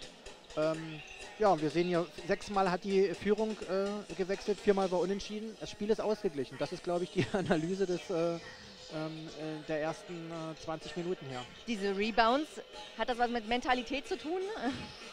Dass Ähm, man sich die Bälle zurückholt, die im ersten Versuch vielleicht nicht so sitzen? Ähm, da hast du recht. Ähm, das ist ähm, eine Frage der Mentalität des Kampfes, aber auch des Timings und des richtigen Einsatzes. Es gibt also tatsächlich Spieler, die darauf ähm, ja, spezialisiert sind, ungefähr zu wissen, wo so ein Ball hinspringen kann. Ja? Aber es hat natürlich wirklich auch mit der richtigen Position zu, zu tun. Und ähm, gerade so ein Spieler, ich weiß nicht, ich schau mal gerade, wer gerade die meisten Rebounds hat hier. Okay, Sören Urbanski bei den Sixers hat natürlich auch einen Tick mit seiner Größe zu 2,14 tun. Meter, ja, hat er Ja, ein bisschen Vorteil. Aber zum Beispiel. Lukas Kaslauskas äh, ist der Point Guard. Ist ein eher kleinerer Spieler bei den Sixers. Mhm. Vier Rebounds. Ja. Ähm, also das hat viel mit dem persönlichen Einsatz eben auch zu tun, wie man sich den Dingen widmet. Ähm, am Ende aber muss man aber sagen, äh, Rebounds gewinnen dir das Spiel nicht, sondern am Ende gewinnst du das Spiel, wenn du die meisten, äh, meisten Körbe machst. Ja. Ja. Ist, glaube ich, ein 5-Euro-Spruch, aber Schon wieder. ja. Ich werde reich heute. ja. Aber was jetzt auch auffällig ist, ist, äh, dass äh, die Sixers sich jetzt eher nochmal zum Gespräch gesucht haben, auch jetzt ganz offensichtlich äh, hier auf der Platte, während die Baskets sich eher einspielen. Hat das was zu bedeuten? Ähm, macht jeder anders. Macht jeder anders am Ende. Ja, ähm, jetzt, sind sie ja, jetzt sind sie ja beide wieder drauf. Jeder sucht so ein bisschen seine Routine. Ist ja manchmal im Basketball komisch. Du spielst dich äh, 45 Minuten bis eine Stunde auf den Eigenkorb ein und dann Ja. nur 10 Minuten auf den anderen. Ähm, ich denke mal, dass die, ähm, dass es, es wurde von beiden Kabinen zu, äh, besprochen, was zu besprechen war. Drücken wir das mal so aus, glaube ich. Und ähm, jetzt geht es wieder raus auf das Feld am Ende. Ja. Wir sind natürlich auch aktiv im äh, Livestream auf YouTube und da hat äh, es schon einen Kommentar gegeben, die 34, also die mal an, die von Wolmirstedt, die ist ein Monster. Ja, ein, äh, ein positives Monster, ja. Ähm, ein, ähm, Felix, vielleicht ein Mentalitätsmonster, würde ich sagen. Ja. Felix Neumann hat ja auch in der Doku, in eurer Doku oder Daniel Georges Von Daniel Doku George, genau. eine große Rolle gespielt. Ich, äh, mein Lieblingssatz da drin, glaube ich, ist, wie seine, wie seine Mama über ihn sagt, ja, die haben angerufen da aus der ersten Liga, aber die haben gesagt, äh, wenn du kommst, dann musst du so und so viel Kilo abnehmen. Und da hat er gesagt, nee, da bleibe ich. Also es ist halt, jeder muss sich in dem, was er tut, wohlfühlen. Dann ist er auch richtig gut da drin, glaube ich, am Ende. Du musst in der Situation zufrieden sein, in der du bist. Und ich glaube, er ist hier oder mit seiner Karriere zufrieden. Ja, dieses, was hätte, was hätte, könnte, wollte, das kann man sich immer fragen. Du musst im Moment leben am Ende. Und er ist hier, wie gesagt, so eine Viertelente.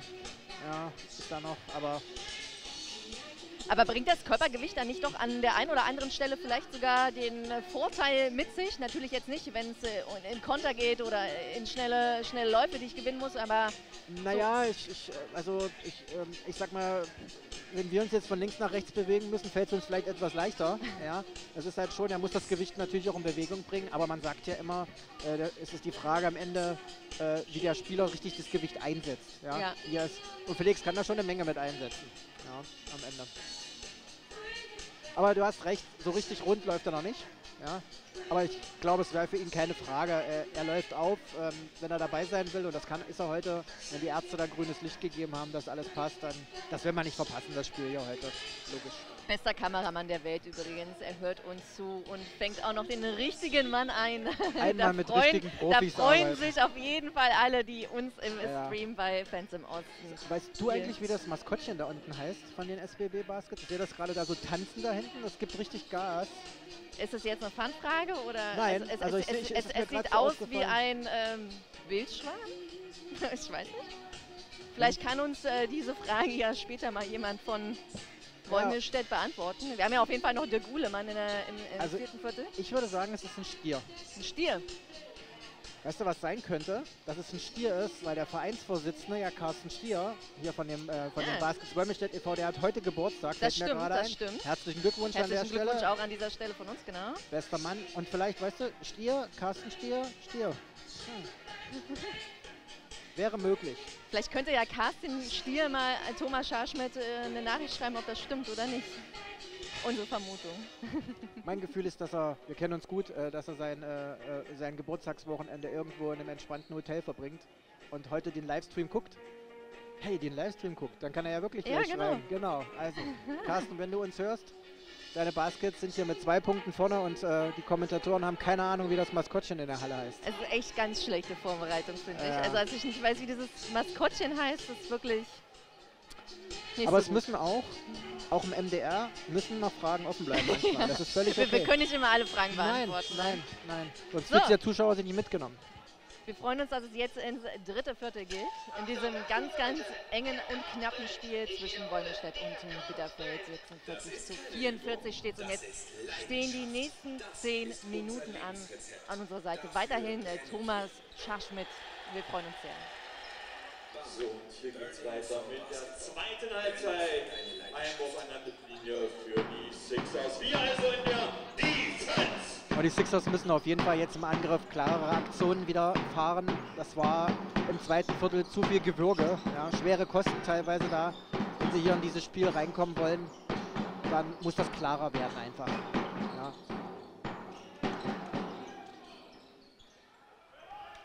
Und wenn man gleich so startet, Ja, wir, ähm, am Ende, ein Wurf kann daneben gehen. Die Ja. Frage ist, wie wurde er herausgespielt? Ja, war der Spieler frei? Ähm, wie, ist, der Ball gelaufen? Die Sixers hatten im ersten Viertel ein gutes Ballmovement, also ist der Ball gut gelaufen. Das hat sich dann... Äh, oh, aber das war natürlich jetzt clever und gut gespielt, ja? ja.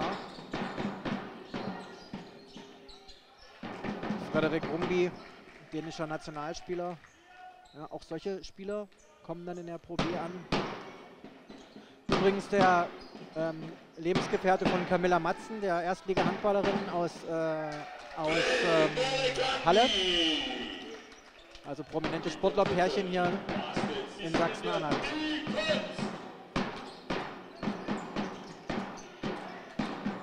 Ich weiß gar nicht, haben die nicht geheiratet? Also das äh, wäre jetzt ein Gossip, der mir... da müsste ich jetzt meinen Kollegen aus Halle äh, mal anrufen, der die immer sehr eng begleitet.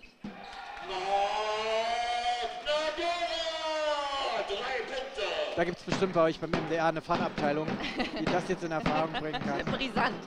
Also sie kamen als Unverheiratete nach Deutschland. So viel weiß das, ich. Das weiß ich. Ich glaube nur, äh, dass es jetzt äh, ein hochzeitsfeierndes äh, Sportlerpaar im Süden Sachsen-Anhalts gab. Aha. Ich weiß noch nicht, ob das die beiden waren. Natürlich. Wir sehen es dann spätestens in Brisant. genau. Oder bei MDR Sachsen-Anhalt heute wo es ja morgen auch einen Beitrag von diesem Spiel nochmal gibt. Richtig, genau. Wir schauen morgen nochmal zurück mit der Konzentration natürlich auf das Comeback von Philiese. Ja, der bessere Start bisher definitiv ähm, für die Bäumerstädter. Marco Rahn versucht es wieder, sich in die Gegner hineinzudrehen. Foul, Basket Nummer 11, Philipp Isa, erstes persönliches Foul zweites Teamfoul. Weil man darf nicht vergessen, ja, am Ende, Wolmerstedt hat, haben dann, äh, hat ein tolles Team, aber ist natürlich trotzdem erstmal technischen Aufsteiger. Mhm. Ja, das heißt, wenn die jetzt die Playoffs erreichen, wovon ich einfach mal fest ausgehe, weil Wolmerstedt hat jetzt, glaube ich, acht Sieger. Ähm, ich sag mal, mit elf bist du drin. Ja, mit zwölf ganz sicher. Das heißt, es fehlen drei oder vier Siege, um im ersten Saison in den Playoffs zu stehen. Also das ist ein Wahnsinnserfolg sofort für die Mannschaft. Ja. Und kann man nur hoffen, dass es in den nächsten Jahren, okay, sei denn einer steigt auf, das wär, genau. aber dass es noch viele Derbys gibt. Ja.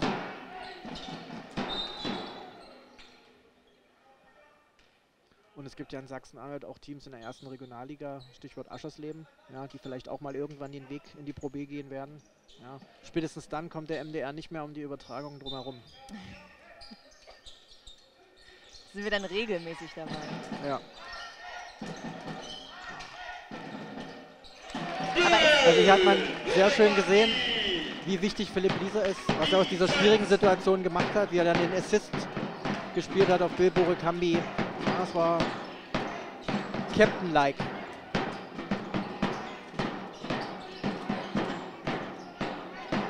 Wie groß ist denn der Sprung von der Regionalliga in diese Pro B-Staffel? Groß. Also ähm, das hat nicht nur sportliche Gründe, sondern du musst ja um in der Pro B zu spielen, äh, nicht nur Struktur, äh, musst du nicht nur sportlich dich qualifizieren, sondern auch ganz viel lizenztechnisch erfüllen.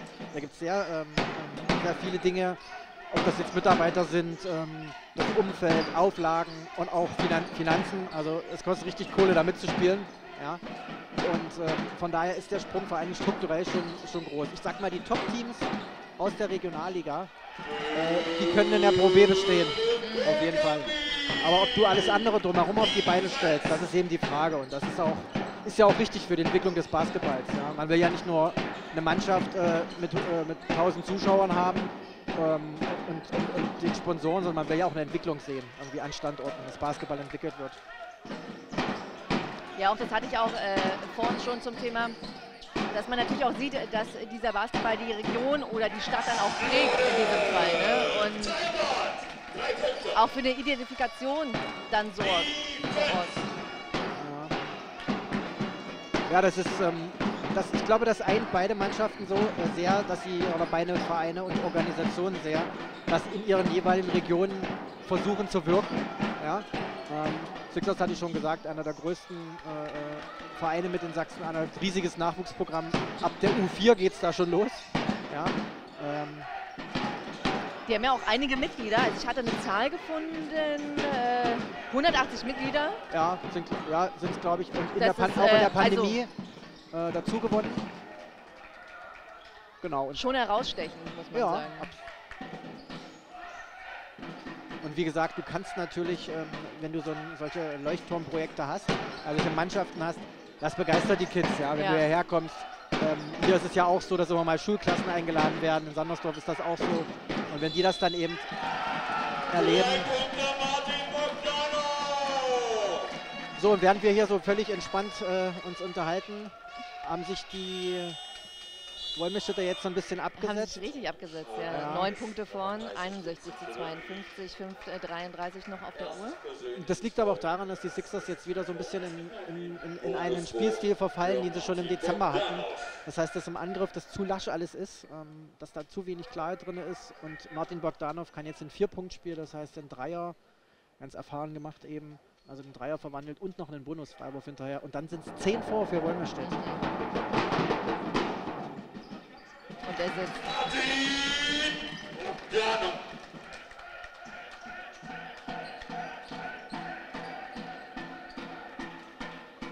Defense.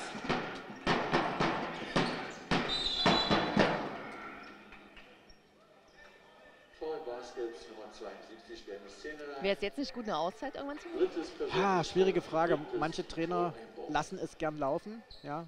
Und manche Trainer sagen dann jetzt, also der richtige Zeitpunkt für eine Auszeit, das ist Philosophiefrage. Ja. Aber wenn du mich fragst, ja.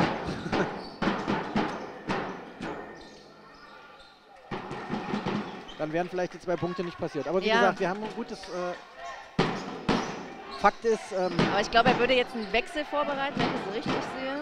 ja. Ich glaube, in dieser Phase können die Wolmenstädter das Spiel noch nicht gewinnen, aber die Sixers können, wenn sie jetzt nicht aufpassen, es verlieren. Ja.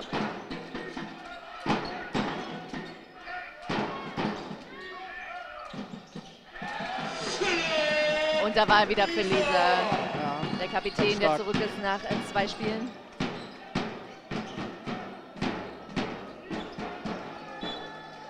Einwurf für die Baskets. Ah, da ist jetzt mehr, mehr Intensität, mehr, mehr Energie einfach auch von den, ähm, von den Baskets da, ganz eindeutig.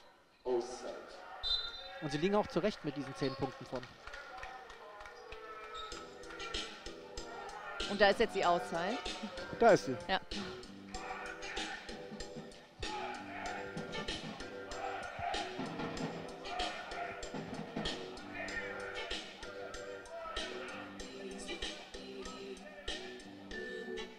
Ja, Wurfquoten immer noch überragend, ja, bei den Wolmerstädtern.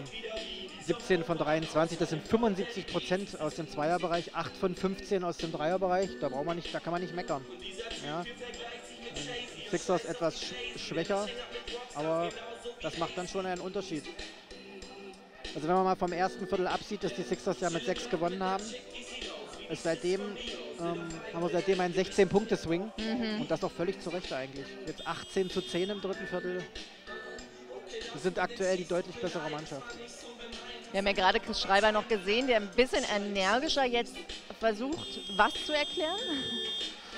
Ich habe jetzt nicht genau hingeguckt, aber ich glaube schon, ähm, dass, er seinen, dass er seinen Jungs jetzt mitgegeben hat, dass da in der Defense einfach mehr kommen muss jetzt. Weil er spürt natürlich jetzt, dass ihn das Spiel ja weg, wegflutschen kann. Und ähm, das ist jetzt so eine entscheidende Phase, jetzt dran zu bleiben bis zum Ende des dritten Viertels. Darum muss es jetzt eigentlich gehen. Also ist jetzt in diesem dritten Viertel quasi äh, die Konzentration schon oder der Fokus schon auf die Defense eher gesetzt. Ja. ne? Definitiv. Und wie gesagt, offensiv ist das, ähm, das ist zu wenig offensiv. Ja. Wir versuchen vorne anzupressen. Und ja, aber wenn ich natürlich den Ball gewinne, ja, dann ist die entscheidende Frage, ob ich daraus auch Punkte mache. Ja. Aber das war jetzt mal so ein Beispiel, ja, wie man den Gegner einfach unter Druck setzt. Robin Danes jetzt mit einem überschaubar schönen Dreier.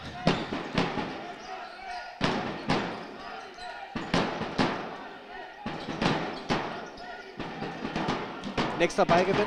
Jetzt, Jetzt muss er was draus machen, ja. Und diesmal hat es geklappt.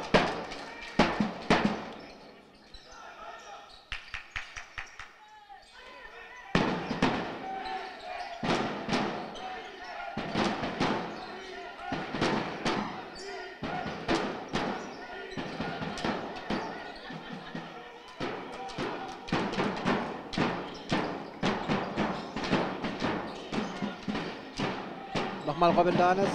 Und diesmal hat es geklappt. Und hier siehst du, wie schnell die Auszeit nach diesem Lauf kommt. Ja, eben waren es 10 vor. Hätte ich hätte jetzt aber an dieser Stelle ehrlicherweise auch wieder gewählt. Ja, wahrscheinlich hast du hier einen Knopf unten drunter, den ich nicht sehe, den du gedrückt hast. Ja, es war jetzt, die waren 10 vor, es kommt ein 5-0-Lauf. Ich Ja. glaube, das ist ein guter äh, Zeitpunkt für Echo Potters jetzt zu sagen, okay, ähm, hier setze ich mal einen, ähm, hier setze ich mal einen Break am Ende.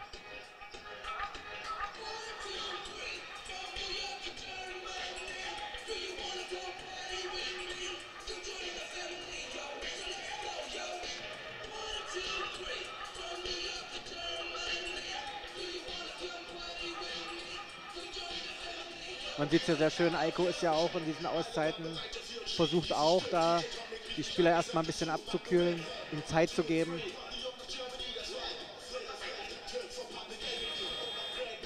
Den klar Aufsteiger hin oder her, du willst so gut wie möglich absch äh, abschließen. natürlich, ja. Ja.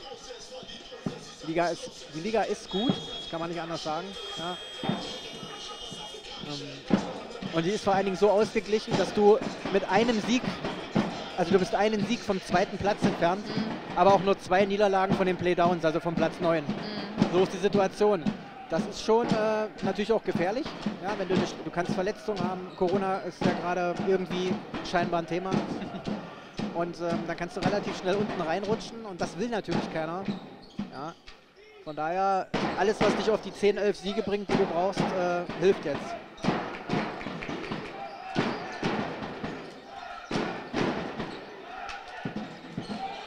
Starke Aktion eigentlich von John Talbot, aber ah, Der Umschaltmoment an sich hat ja gut funktioniert, ne? Ähm, ja, und dann hat sich die Schiedsrichterin hier für das Offensivfoul entschieden. Von Robin Danes. Erstes persönliches Foul, zweites Foul. Da kann man immer sagen, der, der Spieler, der nach vorne stürmt, muss das besser im Griff haben. Man könnte genauso sagen, der verteidigende Spieler von Wolmenstedt hat einfach gut gestanden dann. Aber man sieht schon jetzt, die Sixers versuchen und es scheint zu funktionieren, einfach mit, mit einer Pressverteidigung, also früh anzupressen, früh den Gegner zu stören, da jetzt ein bisschen irgendwie das Momentum wieder auf, auf ihre Seite zu ziehen.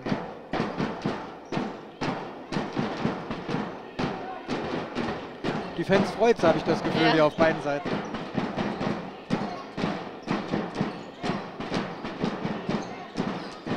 64 zu 59, 3 Minuten 15 noch auf der Uhr.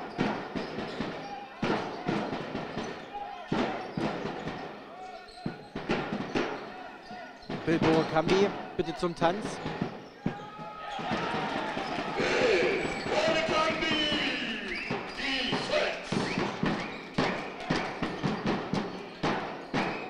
Hat übrigens mit, seit seinem dritten Foul nichts mehr, Ja, er hat mehr sich ganz schön passiert. abgekühlt, ne? Also Ja. persönlich. hat er sich unterbringen können. Okay, Heike Sommer schreibt gerade, das Maskottchen heißt Monsi. Monsi, Monsi, was schließen wir jetzt darauf? Heike, wenn du es weißt, schreib doch mal bitte rein. Was ist Monsi? Also, was stellt er dar? Oder sie? Dankeschön, Heike. aber wir werden geguckt, das ist doch schon mal gut. Es wird registriert und man hört uns ja scheinbar auch zu. Monsi.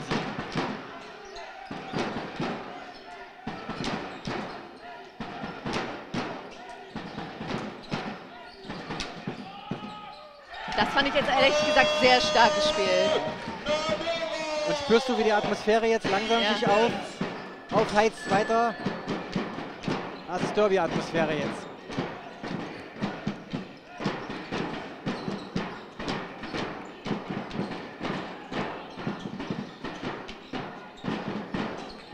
Robin Danes jetzt, glaube ich, mit seinem dritten Dreier. Hier war zum Beispiel ein schöner, äh, ein schöner Punkt, wie äh, Marco Rahn versucht hat, diesen Dreier sich zu sichern, äh, Quatsch, diesen Rebound sich zu sichern. Ja, Und das zweite Offensivfoul von Robin Danis jetzt in kurzer Zeit, aufgenommen von, ich jetzt nicht, Foul ist Nummer 18, Robin Dahnes, drittes persönliches er liegt da auf dem Boden. Dominik von Waden, glaube ich, ja. Hat das aufgenommen, korrekt, ja. Dominik von Waden.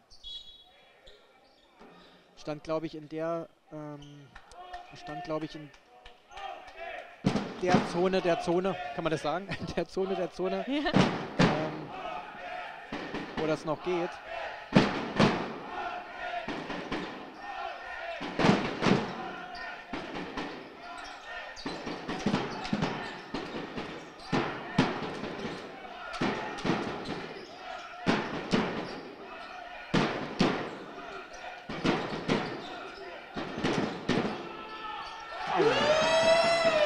Also dieser Dreier und der Dreier vorher von Marc Nagora, die machen schon, die können am Ende einen Unterschied in einem Spiel machen. Es war zweimal fast die gleiche Position und diese sechs Punkte machen wieder einen elf Punkte Vorsprung draus. Der war jetzt gut geklaut, fand ich. Ja. Und der noch besser. Ja. ja, es ist wild heute, muss man schon sagen.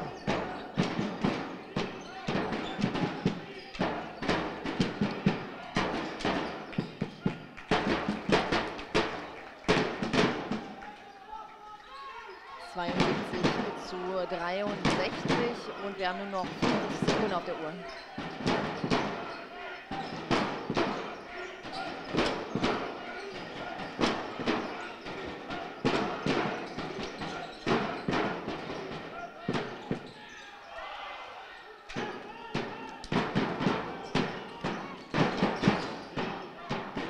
Jetzt mal eine Dreiermöglichkeit für die. Oh, Ilmans Rapek mit dem Dreier. Schauen, ob die Wolmerstädter jetzt in den letzten sieben Sekunden hier noch verkürzen können. Quatsch, erhöhen können. Erhöhen, ja. Die Sixers verkürzen. Oh, ein langer Ball fliegt nochmal übers Feld. Aber er wäre auch zu spät gewesen. Aber es wäre auch schön gewesen. Ja. Thomas Schaschmidt, ich sage herzlichen, herzlichen Dank. Ja, hat super Spaß gemacht. Fand ich auch. Wie geht's aus? Sag's mir. Sieben Punkte vor, dein Tipp. Und ich bin mir sicher, es geht traffermäßig weiter. Viertel Nummer 4, zwei Minuten. Ich, ich, sa ich, sage, Sie lassen sich das ehrlich gesagt nicht mehr nehmen. Die Wolmerstädter. Okay, Ja. ich sage, es gibt Verlängerung und wünsche euch viel Spaß im letzten Viertel. Uiuiuiuiui. Und dann kann ich ja zur Verlängerung nochmal kommen. Ja, aber gerne doch. okay, gut. Dankeschön. Danke.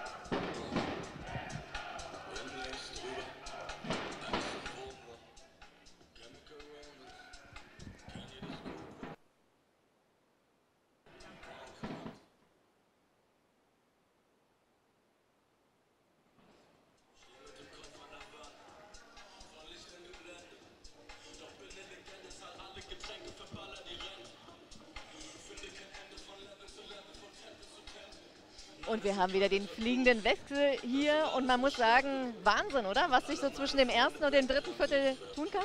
Ja, also ähm, ich bin ja gegangen mit einer Niederlage, also nicht Niederlage, sondern mit weniger Mit- Punkten für uns. Mit großem Rückstand. Genau, und mit zwar großen, nach dem ersten Viertel. 19 genau, zu 25. Genau, genau da waren es 19 zu 25 und jetzt äh, führen wir halt mit 7. Äh, 72, 65 und äh, man sieht ihn auch an den Stats äh, in der ersten Halbzeit, so wie ich gesagt habe, oder im ersten Viertel besser gesagt, äh, von den Dreierquoten, da waren die Sixers eigentlich deutlich besser, was jetzt ein bisschen runtergegangen ist. Super, und wir bekommen gerade von Olaf äh, Scholz äh, die Zettel zum äh, dritten Viertel Genau. rein. Und Da da, sieht man es halt, genau. Die, Genau. Die, die Stats von der, von der Dreierquote her sind äh, jetzt bei den Sixers auch runtergegangen. Die waren im ersten Viertel bei 60 Prozent. Äh, das, war schon, das war schon Wahnsinn. Ja, Ja. Das war bei 83 Prozent. 83, Genau, 5 genau, von 6 genau, waren da drin. genau. Jetzt hier nur 7 von 16. Genau. Wie erklärt man sich diesen Ähm, Abfall? ja, also zum, zum einen im ersten Viertel haben sie alles getroffen, glaube ich. Äh, da haben sie jeden freien Wurf gut getroffen. Ähm, jetzt wird die Defense etwas angepasst von uns. Und, äh, das hat Algo auch in der, in der Halbzeit angesprochen bei den Jungs, dass die Defense besser sein muss bei den Dreiern. Ähm, oder generell auch das Rebounding ist sehr schlecht bei uns gewesen im ersten, in der ersten Halbzeit. Das hat man an den Stats gesehen. Und ähm, ja, jetzt, jetzt sieht es äh, deutlich besser aus. Wir hatten hier gerätselt, dieses Maskottchen. Was ist das? Und Monsi heißt das Genau, offensichtlich? das ist äh, ein Stier, der äh, Steven Monse Ein Stier, also Genau, Thomas Scharschmidt genau. lag richtig. Genau. Der Steven Monse hat bei uns gespielt, ähm, ist ja auch mit seiner Allianz vertreten. Und äh, da haben wir eine Umfrage gemacht bei den Fans, weil wir gesagt haben, wir haben jetzt ein Maskottchen. Was sagt ihr, was, äh, wie soll er heißen? Und äh, da haben sich die Fans, äh, ich glaube, zu 88 Prozent oder 89 oder 90 knapp ausgesprochen, dass er Monsi heißen soll, weil er hieß bei uns Monsi. Ähm, er ist auch der, der einzige Spieler, der bis jetzt hier ein gesigntes Trikot hat an der Decke, also mit der Nummer 13, die auch nicht mehr vergeben wird. Ja. Und äh, ja, das ist so, Monse hat äh, viel, ist auch unser Vorstand Sport, äh, kümmert sich sozusagen um die Jungs noch im Background. Und äh, ja, das, das so viel dazu zu Monsi. Also hat doch nichts mit dem Vereinspräsidenten zu tun, Nein, heute nein, Geburtstag nein, nein, nein, nein, nein. Also Carsten, der heute auch Geburtstag hat, alles Genau. Gute Carsten. Ähm, der hat damit nichts zu tun, nein. Ja. Wir mussten rätseln, aber haben durch die YouTube-Community uns aufklären lassen. Also herzlichen Dank da auch an die Schauenden offensichtlich bei uns im Stream und an den regen Austausch. So, was ist jetzt wichtig hier im letzten Viertel? Weil Thomas Scharschmidt sagt, es gibt Verlängerung. Es ist eine Verlängerung. Gehe ich aktuell noch nicht mit. Ähm, dafür, dafür sind die Jungs gerade äh, ja, zu sehr im Game, also unsere Jungs und auch die Sixers. Ich glaube nicht, dass es eine Overtime geben wird. Ähm, wo wir jetzt ein bisschen drauf achten muss, ist die, die Foul-Statistik. Ähm, da sieht man bei uns äh, bei der Nummer 3, der hat schon vier Fouls. Und äh, ja, nach dem fünften ist ja Schluss. Ja. Und davon haben wir noch zwei weitere Spieler mit jeweils drei und die Sixers auch mit äh, jeweils zwei Spielern mit drei Fouls. Ich glaube, das wird jetzt in den nächsten neun Minuten das, das hitzige Derby, was ich auch angesprochen habe im ersten Viertel, wo ich gesagt habe, Mensch, ganz schön wenig. ja da war es eher so angezogene Handbremse. ne? Genau, ja. genau. Aber jetzt auch, ich finde auch, dass die Schnelligkeit jetzt Ja, spürbarer ja. ist. Und da fällt der Dreier. Schnelle Punkte für die Sixers und äh, da Also sind jetzt auf fünf, fünf Punkte Ge- ran, 75 zu 70 steht es aktuell für die Baskets. 8 Minuten 40 noch auf der Uhr.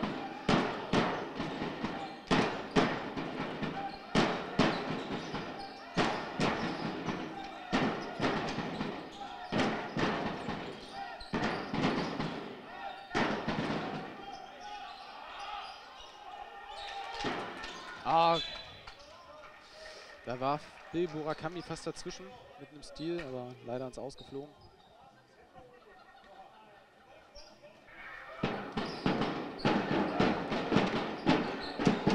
Auch schon nochmal herzlichen Dank an Mebala 711, der uns auch nochmal erklärt hat, dass es zu Ehren von Steven Monse ist und der sehr viel zur Entwicklung des Profi-Basketballs in Wolmenstedt beigetragen hat. Herzlichen Dank für diese Informationen bei uns im YouTube-Stream.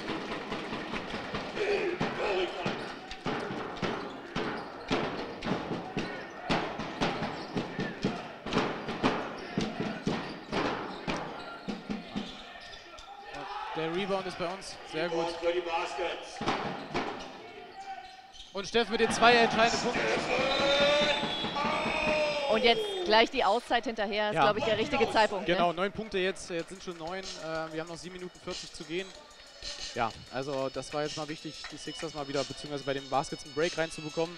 Gegen uns an sich, aber ja, das war ganz wichtig vom Trainer jetzt von den Sixers. Können die Sixers jetzt nur noch versuchen, quasi über diese Dreier versuchen Nein. ranzukommen oder sind diese 7 Minuten 40 noch lang genug? Also im Basketball ist vieles möglich. Das sind zwar nur Floskeln, aber das ist wirklich so. Ich habe es hier selber schon in Wolmestedt erlebt, dass man noch neun Punkte hatten wir mal in den letzten 40 Sekunden, die wir aufgeholt haben und dann noch zum Sieg. Ähm, also da ist so viel drin und ähm, ich, wenn wir jetzt bei 0,30 stehen würden und mit dem Punktestand, dann würde ich sagen, danke. Das ist, das ist der Sieg, aber so weit gehe ich jetzt noch nicht.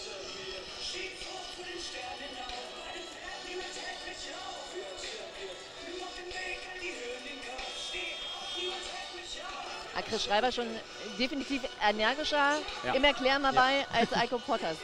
Ja. Wobei Eiko auch äh, schon ein, zwei Sachen dabei hatte, aber eben gerade hat man es deutlich gesehen. Also ich glaube, er ist ein bisschen. Ja, er will nochmal die Jungs nach vorne kämpfen lassen und pushen und äh, ja. Ich glaube, er weiß, dass die Jungs mehr Potenzial haben, die Sixers, und äh, wenn sie jetzt wieder ihre Wurfquote finden, dann könnte das auch nochmal sehr, sehr spannend werden. Ist jetzt auch der richtige Zeitpunkt, nochmal so ein bisschen Körperlichkeit in dieses Spiel Ja. zu bekommen? Ja, also ich glaube, jetzt sehen wir die letzten 7 Minuten 30, werden wir nochmal ein schönes, äh, hartes, umkämpftes Derby sehen. Ähm, mit ein, zwei Fouls, äh, die vielleicht auch ein bisschen über dem Limit liegen werden. Um einfach mal zu zeigen, wer jetzt hier der Stärkere ist. Aber wieder gute Defense, schwerer Wurf und den musste sich nehmen. Und ach. Oh, da hat er Glück. Da hat er Glück, der Jan Bergen. Funniges Nummer 15, Marco Rahn. Drittes persönliches und zweites Teamfoul. Ist Ihnen der Ball in dem Augenblick aus der Hand gerutscht oder was? Äh, Nee, er wurde geschlagen, also äh, Foul war ein Schlag auf den Arm. Ja. beim Passen, aber also ich glaube, wäre der Schlag nicht gekommen, wäre der Ball weg gewesen und so hat er wirklich Glück, dass, ja. dass das kam.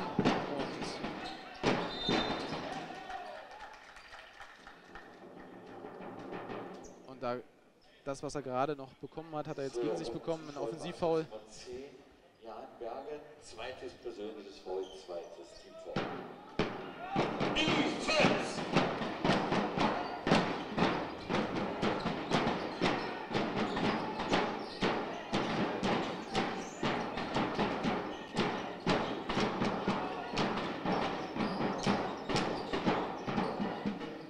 Den hat er gut gesehen, fand ich. Ja, Ja. ja, Kammer gut von hinten in den Rücken reingelaufen ja. bei Jordan und äh, ja, Jones Hilbert sieht ihn zu spät, versucht dann auch ein bisschen was zu machen, aber ja, guter Abschluss.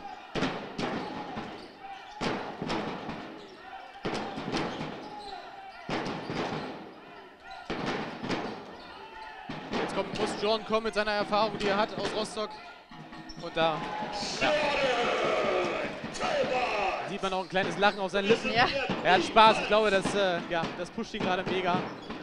Und äh, um noch mal den jungen Leuten zu zeigen, dass er als Älterer auf dem Basketballfeld immer noch die Jungen gut in Schach halten kann.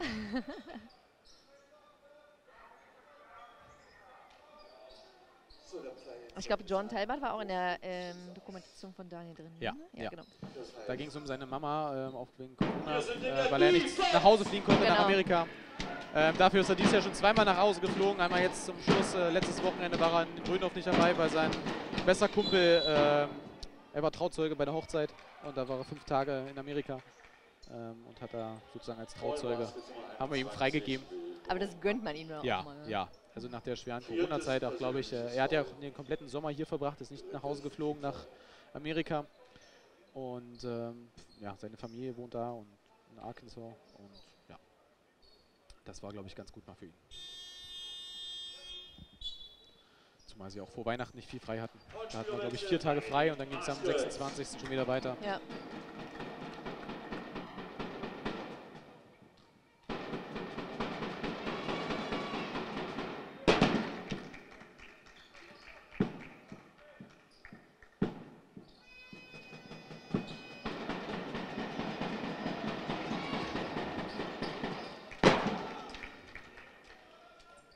Lukas Kaslauskas ganz cool geblieben. Er ist ein sehr, sehr sicherer Ja, Freiwurfschütze auch generell. aus Litauen der Mann. Genau, das hat er auch sehr, sehr gut bei Arschesleben unter Beweis gestellt.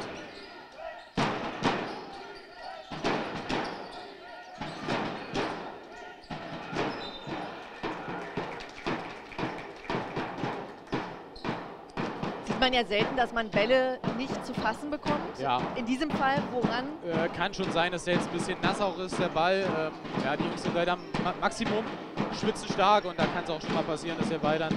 Wir spielen ja nicht wie die Handballer mit, äh, Mit Kleber. genau mit Ja. Kleber äh, an der Hand und da kann das schon mal passieren. Aber gute Defense-Arbeit jetzt von uns. Ja. Das war ganz, ganz wichtig. Und jetzt Philipp, macht er ihn selber? Nee, er gibt ihn ab. Beruhigt das Spiel nochmal. Aber er fordert den Ball.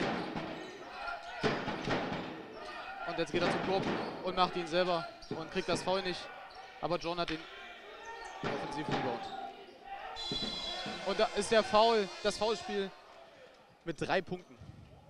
Also John geht jetzt an die Linie, hat drei Freiwürfe.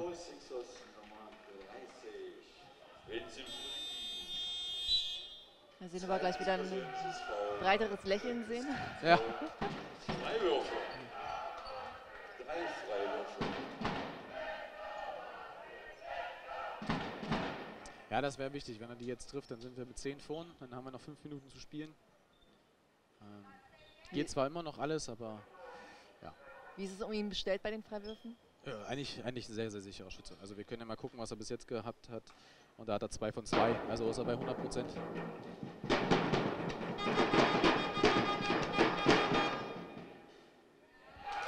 Der erste reingewackelt. ja, ich wollte auch gerade sagen. Große Sicherheit Genau. hat das jetzt nicht versprüht, aber Ja, es war ich- erfolgreich am Ende genau. des Tages. Genau, hätten wir jetzt gesagt, dann hätten wir es beschrien, aber so war. Der war ganz Ah, der sicher. Sehr gut, ja. Und jetzt hat er seinen dritten und letzten. Und äh, ja. Kommt schon.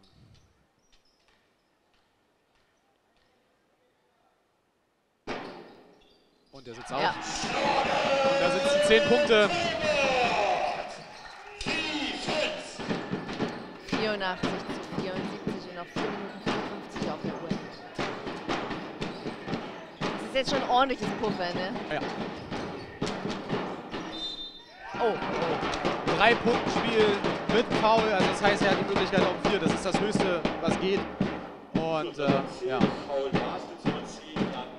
Drittes persönliches Foul. Viertes Teamfoul. Freiburg.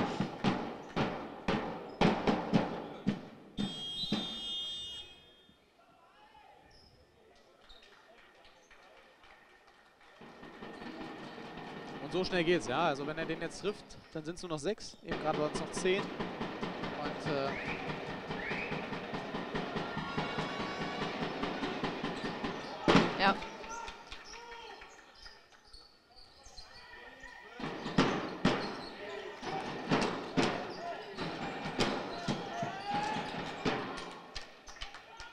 Da ist der leichte Ballverlust. Die Sixers spielen das echt gut. Wir kommen damit nicht ganz so klar, muss man sagen, mit dem, was sie da gegen uns spielen. Aber wirklich Schwierigkeiten. Schon drei, vier Bälle jetzt im letzten Viertel weggeworfen. Aber jetzt sind unsere erfahrenen Spieler wieder drauf mit Martin Bogdanov und Philipp Wieser. Ja. Und äh, ja, Martin aktuell, glaube ich, auch der Topscorer. Also ich habe jetzt die aktuellen Punkte jetzt nicht da und da fällt der Dreier. Der ist, also es ist heute wirklich einer seiner Tage, oder? Ja, ja, also Martin ist ein echt starker Spieler, konstanter Spieler und hat auch wirklich ein gutes Händchen von außen. Und äh, das hat er da gerade wieder unter Beweis gestellt.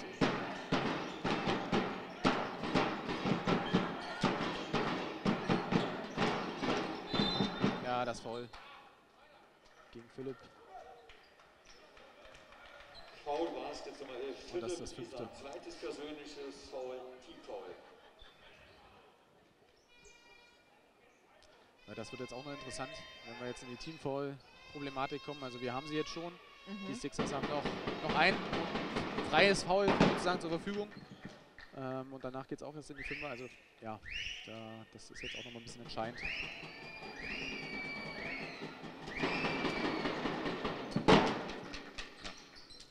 Die waren sehr sicher verwandelt. 87 zu 80, aktuell 3 Minuten 20. 87, 80, John macht's ruhig, macht's entspannt. Ja, sie wollen jetzt ein bisschen schon verwalten. Ich hoffe, dass das nicht zu früh ist. Oh, stark gemacht von Bill und da sind die zwei. Wie ist das jetzt so in den Endzügen? Oh, da ist das. Technisches Foul gegen den Coach. Das heißt, wir kriegen noch einen Freiwurf und bleiben am Ball. Das ist zu der Phase, glaube ich.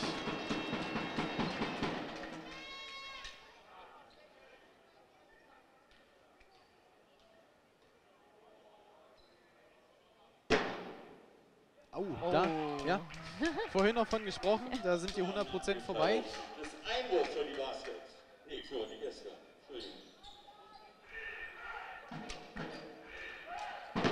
Seine Ja. Quote also 1 zu 5, glaube ich. Echt, ja genau. Beziehungsweise 5 von 6 hat Genau. er jetzt getroffen, genau.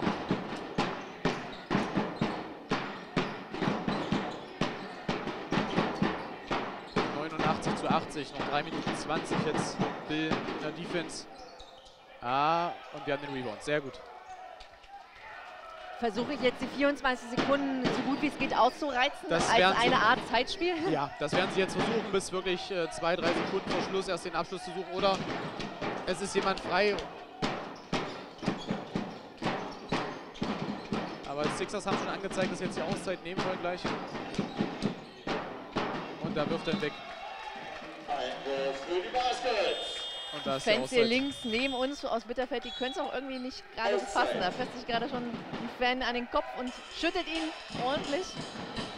Ja, einfache Bälle eigentlich. Ja, so wie vorhin Philipp den Ball nicht gefangen hat, ihm gerade das zu weite werfen. Ähm, jetzt 89, 80, noch 2 Minuten 50. Und ähm,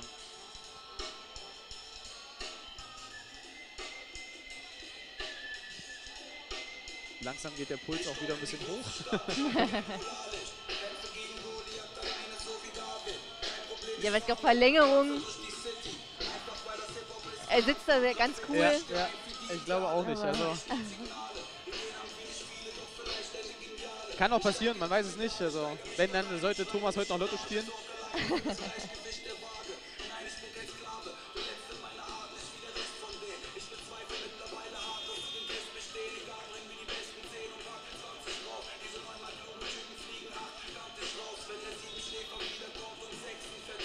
dieser Stelle mal ein ganz herzlicher Applaus für unseren Maskottchen Monzi. Da ist es Monsi. Genau, da ist Monsi. Sehr gut. Ich glaube, Monsi ist auch ordentlich fertig, wenn Ja. dieses Spiel vorbei Ja. ist. Also da ist es sehr, sehr warm drunter. Ich kann aus eigener Erfahrung sprechen. Das ist nicht ganz äh, so gut. Vor allen Dingen, wenn es im Sommer dann noch ist. Stark. Das war ganz wichtig. Phil musste den Ball loswerden. Und jetzt nimmt Martin Zeit von, von der Uhr. Freier Wurf.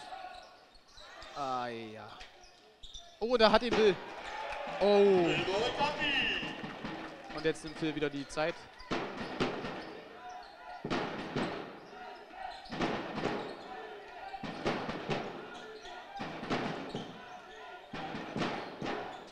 Einer Phase dann auch eher zu verzeihen, wenn ein Wurf mal nicht rechtzeitig dann Ja, ankommt.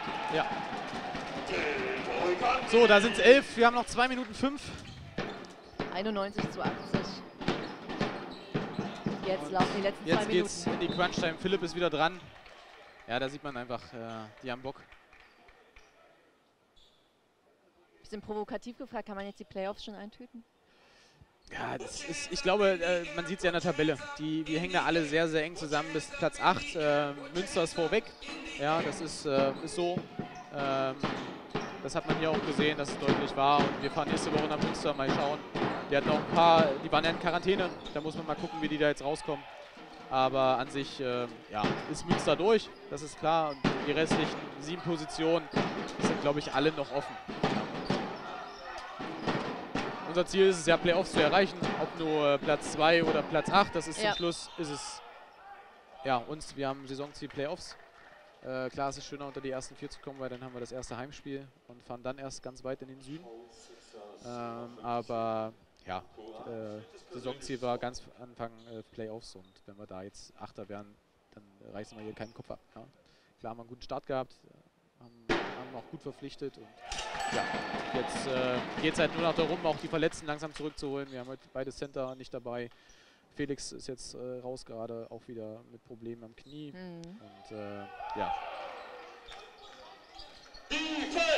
Hat man aber schon ehrlich gesagt gesehen Ja. bei seinen Bewegungsabläufen, dass es dann zwickt. ja. Und Foulspiel Martin Bogdanov. Das ist sein, sein fünftes. Baskets Nummer 3, Martin Bogdanov. Fünftes persönliches Foul. Und ich bin sicher, er bekommt einen riesen Applaus, Martin Bogdanov! Und äh, 92 zu 80, aktuell noch eine Minute 24. Spielzeit Da sieht man es jetzt auch. Minute 24. Spiel, Spielstand 92 zu 80, die Führung für die Ich bin ja jetzt eigentlich auch hier, weil also Dirk äh, Uhlemann, der hat gesagt, er ist so aufgeregt, der, wie man sieht, der springt da hinten auch am, am Spielfeldrand rum. Ähm, der hat gesagt, ich soll mal nach oben gehen. Er kann es aktuell nicht, weil er so aufgeregt Er ist. kann es. Nicht. Genau. Ja, äh, der lebt halt das Thema. Ja, er ist halt der Trainer, hat das damals äh, die Jungs in die zweite Regionalliga Ja. geführt. Und äh, der, der hat da ganz anderen, äh, ja, der, der sieht da Systeme. Und dann geht er natürlich komplett mit und das kann man hier, glaube ich, den Zuschauern Ist er jetzt Vorstand? Genau, er ist Vorstand. Genau. Vorstandsvorsitzender. Und äh, ja, wir führen das da zusammen, das ganze Thema. Und aktuell hat er, hat er sich entschuldigen lassen, weil er. Mischt er sich dann eigentlich ab und zu auch mal ein in die Trainings? Nein, weißt- nein, nein. gar also, nicht. das, also er bespricht das alles mit Steven Monse, mit unserem Vorstand Sport. Mit unserem Vorstand Sport. Und äh, da wird ganz konstruktiv auch gesprochen, klar. Ja.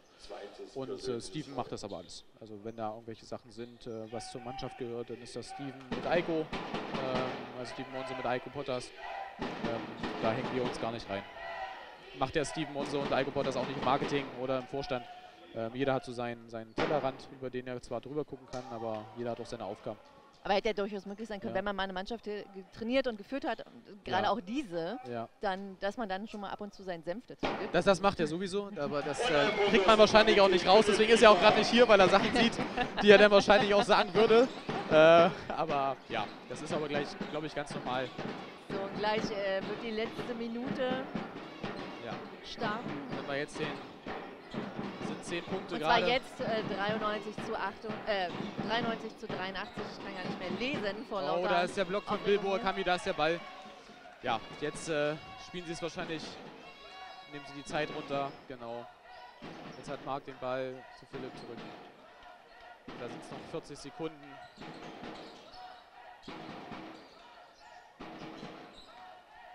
Und die drei Punkte von Dorm sind nicht da. Nee. 30 Die Sekunden noch, letzte 10 Punkte vorne. Für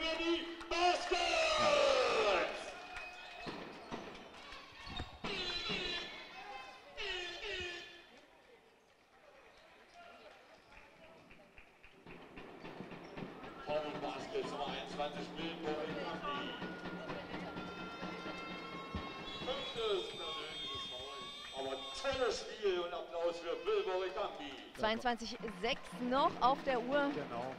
Will mit seinem fünften Foul gerade. Ist jetzt auch raus. Ähm, ja, acht Punkte vor. Noch 22 Sekunden zu gehen. Ich denke, da können wir unterschreiben. Ich glaube, der Puls ist jetzt ganz ruhig. Ja, er fährt, nee, er fährt gleich wieder hoch beim Abbau. also von daher, ich muss gleich runter zum Abbauen. Mit Die Arbeit ganzen, wartet wieder. Genau, mit den ganzen Helfern, damit wir da ja, in zwei Stunden hoffentlich raus sind. Wir wollen natürlich nach dem Spiel dann auch nochmal Philipp Lisa im Interview hören. Wir müssen dann natürlich erstmal runtergehen und der Kameramann uns erstmal finden. Deswegen, er schwitzt schon. Nicht wundern, wenn wir mal kurz nichts sagen, aber wir sind immer noch da und dann können wir mal hören, was äh, der Kapitän zum heutigen Spiel zu sagen hat. Aber ich glaube, er könnte zufrieden sein, oder? Ich glaube, er kann glücklich sein. Die erste Halbzeit war jetzt nicht so gut. Ja, das Ähm, erste, erste Viertel. ja. Das zweite Viertel war ja schon wieder ganz. Das stimmt, aber Eiko war immer noch nicht zufrieden. äh, ja, ich denke, das wird Philipp auch so analysieren und jetzt äh, ist das Spiel deutlich durch. Ja, zwei Punkte wahrscheinlich noch. Und das Derby zu gewinnen macht mit euch was?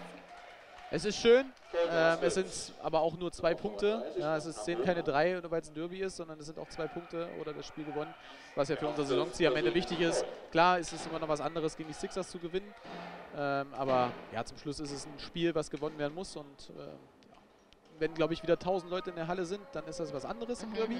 Man hat es heute schon gehört, also es waren Fanlager nebeneinander, aber ja, wenn 1000 Leute, dann brennt hier der Bär und ich glaube, dann merkt man auch das Derby.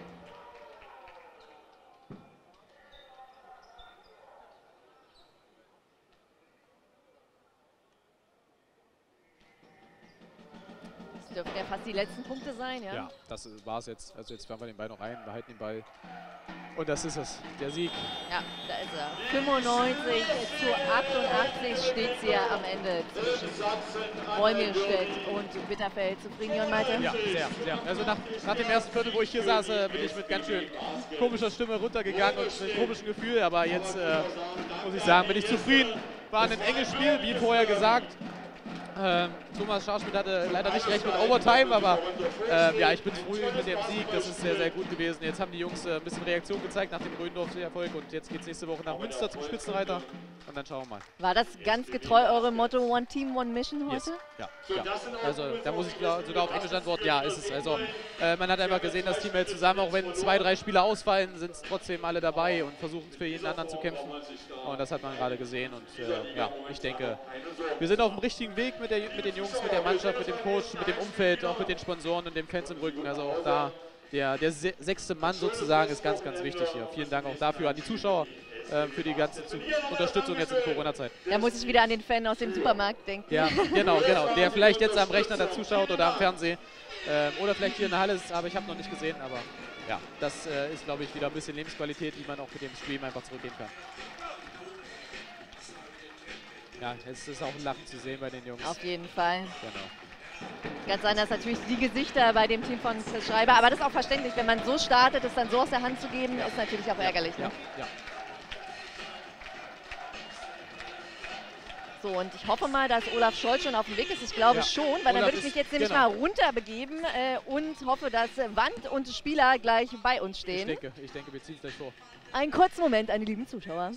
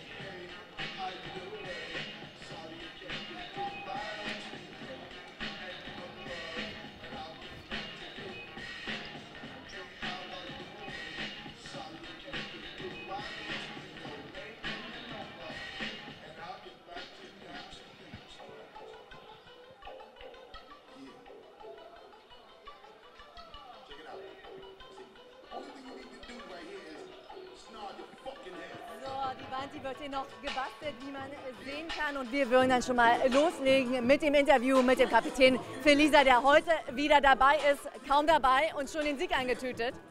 Wie hat sich es am Ende heute hier angefühlt, wieder auf der Platte zu stehen und äh, gegen die Sixers äh, zu gewinnen? Also äh, der Sieg hat sich gut angefühlt. Auf der Platte zu stehen hat sich auch gut angefühlt für vielleicht so drei Minuten am Anfang. Und dann habe ich echt äh, sehr zu kämpfen gehabt. Ich, war, ich bin total, total im Eimer. Also ich, ja, meine Beine, ich merke sie total. Äh, aber ich bin total glücklich über, über ähm, wie wir gespielt haben. Äh, wir haben schlecht angefangen, erstes Viertel. Wir haben denen echt eine Menge freie Würfe gegeben. Und äh, dann haben wir uns gefangen auch. Und äh, ich glaube, es hat auch Charakter gezeigt, dass wir uns wieder reingekämpft haben. Und am Ende, ja, ist okay, sage ich mal. 88 Punkte ist zu viel, die wir zugelassen haben. Aber ähm, ja, war auf jeden Fall ein sehr wichtiger Sieg heute, ja. Wie schafft man das, wenn man so schlecht in ein Spiel hineinkommt, ist dann doch noch so dominant dann am Ende zu drehen und sogar mit einer Führung in die Halbzeitpause zu gehen, was ja lange gar nicht so abzusehen war? Na, ähm, das ist eigentlich äh, Charakter, ja. Viele, viele Teams können sowas nicht. Äh, manche Teams kommen in einen Rückstand und fangen an, sich anzuschnauzen, Finger zu zeigen und so. Wir haben ähm, ein gewisses Selbstbewusstsein äh, in uns als Mannschaft. Wir haben äh, extrem äh, talentierte Spieler. Äh, man hat gesehen heute äh, Jordan Talbot, äh, Bogdan, Martin Bogdanov, Boggy haben echt extrem krass gespielt und ähm, ja, wir wussten, was wir können und haben uns einfach haben weiter an uns geglaubt und mussten einfach nur in der Defensive ein bisschen mehr Druck machen. Genau. Das ist eigentlich nur Wille in dem Fall. War das heute wirklich alles getreu dem Motto One Team, One Mission? Die, die Frage ist ja, was ja, diese, was ja die Mission ist dieses Jahr. Ja? Äh, aber auf jeden Fall, die Mission ist Playoffs. Also ja, um deine Frage zu beantworten, auf jeden Fall.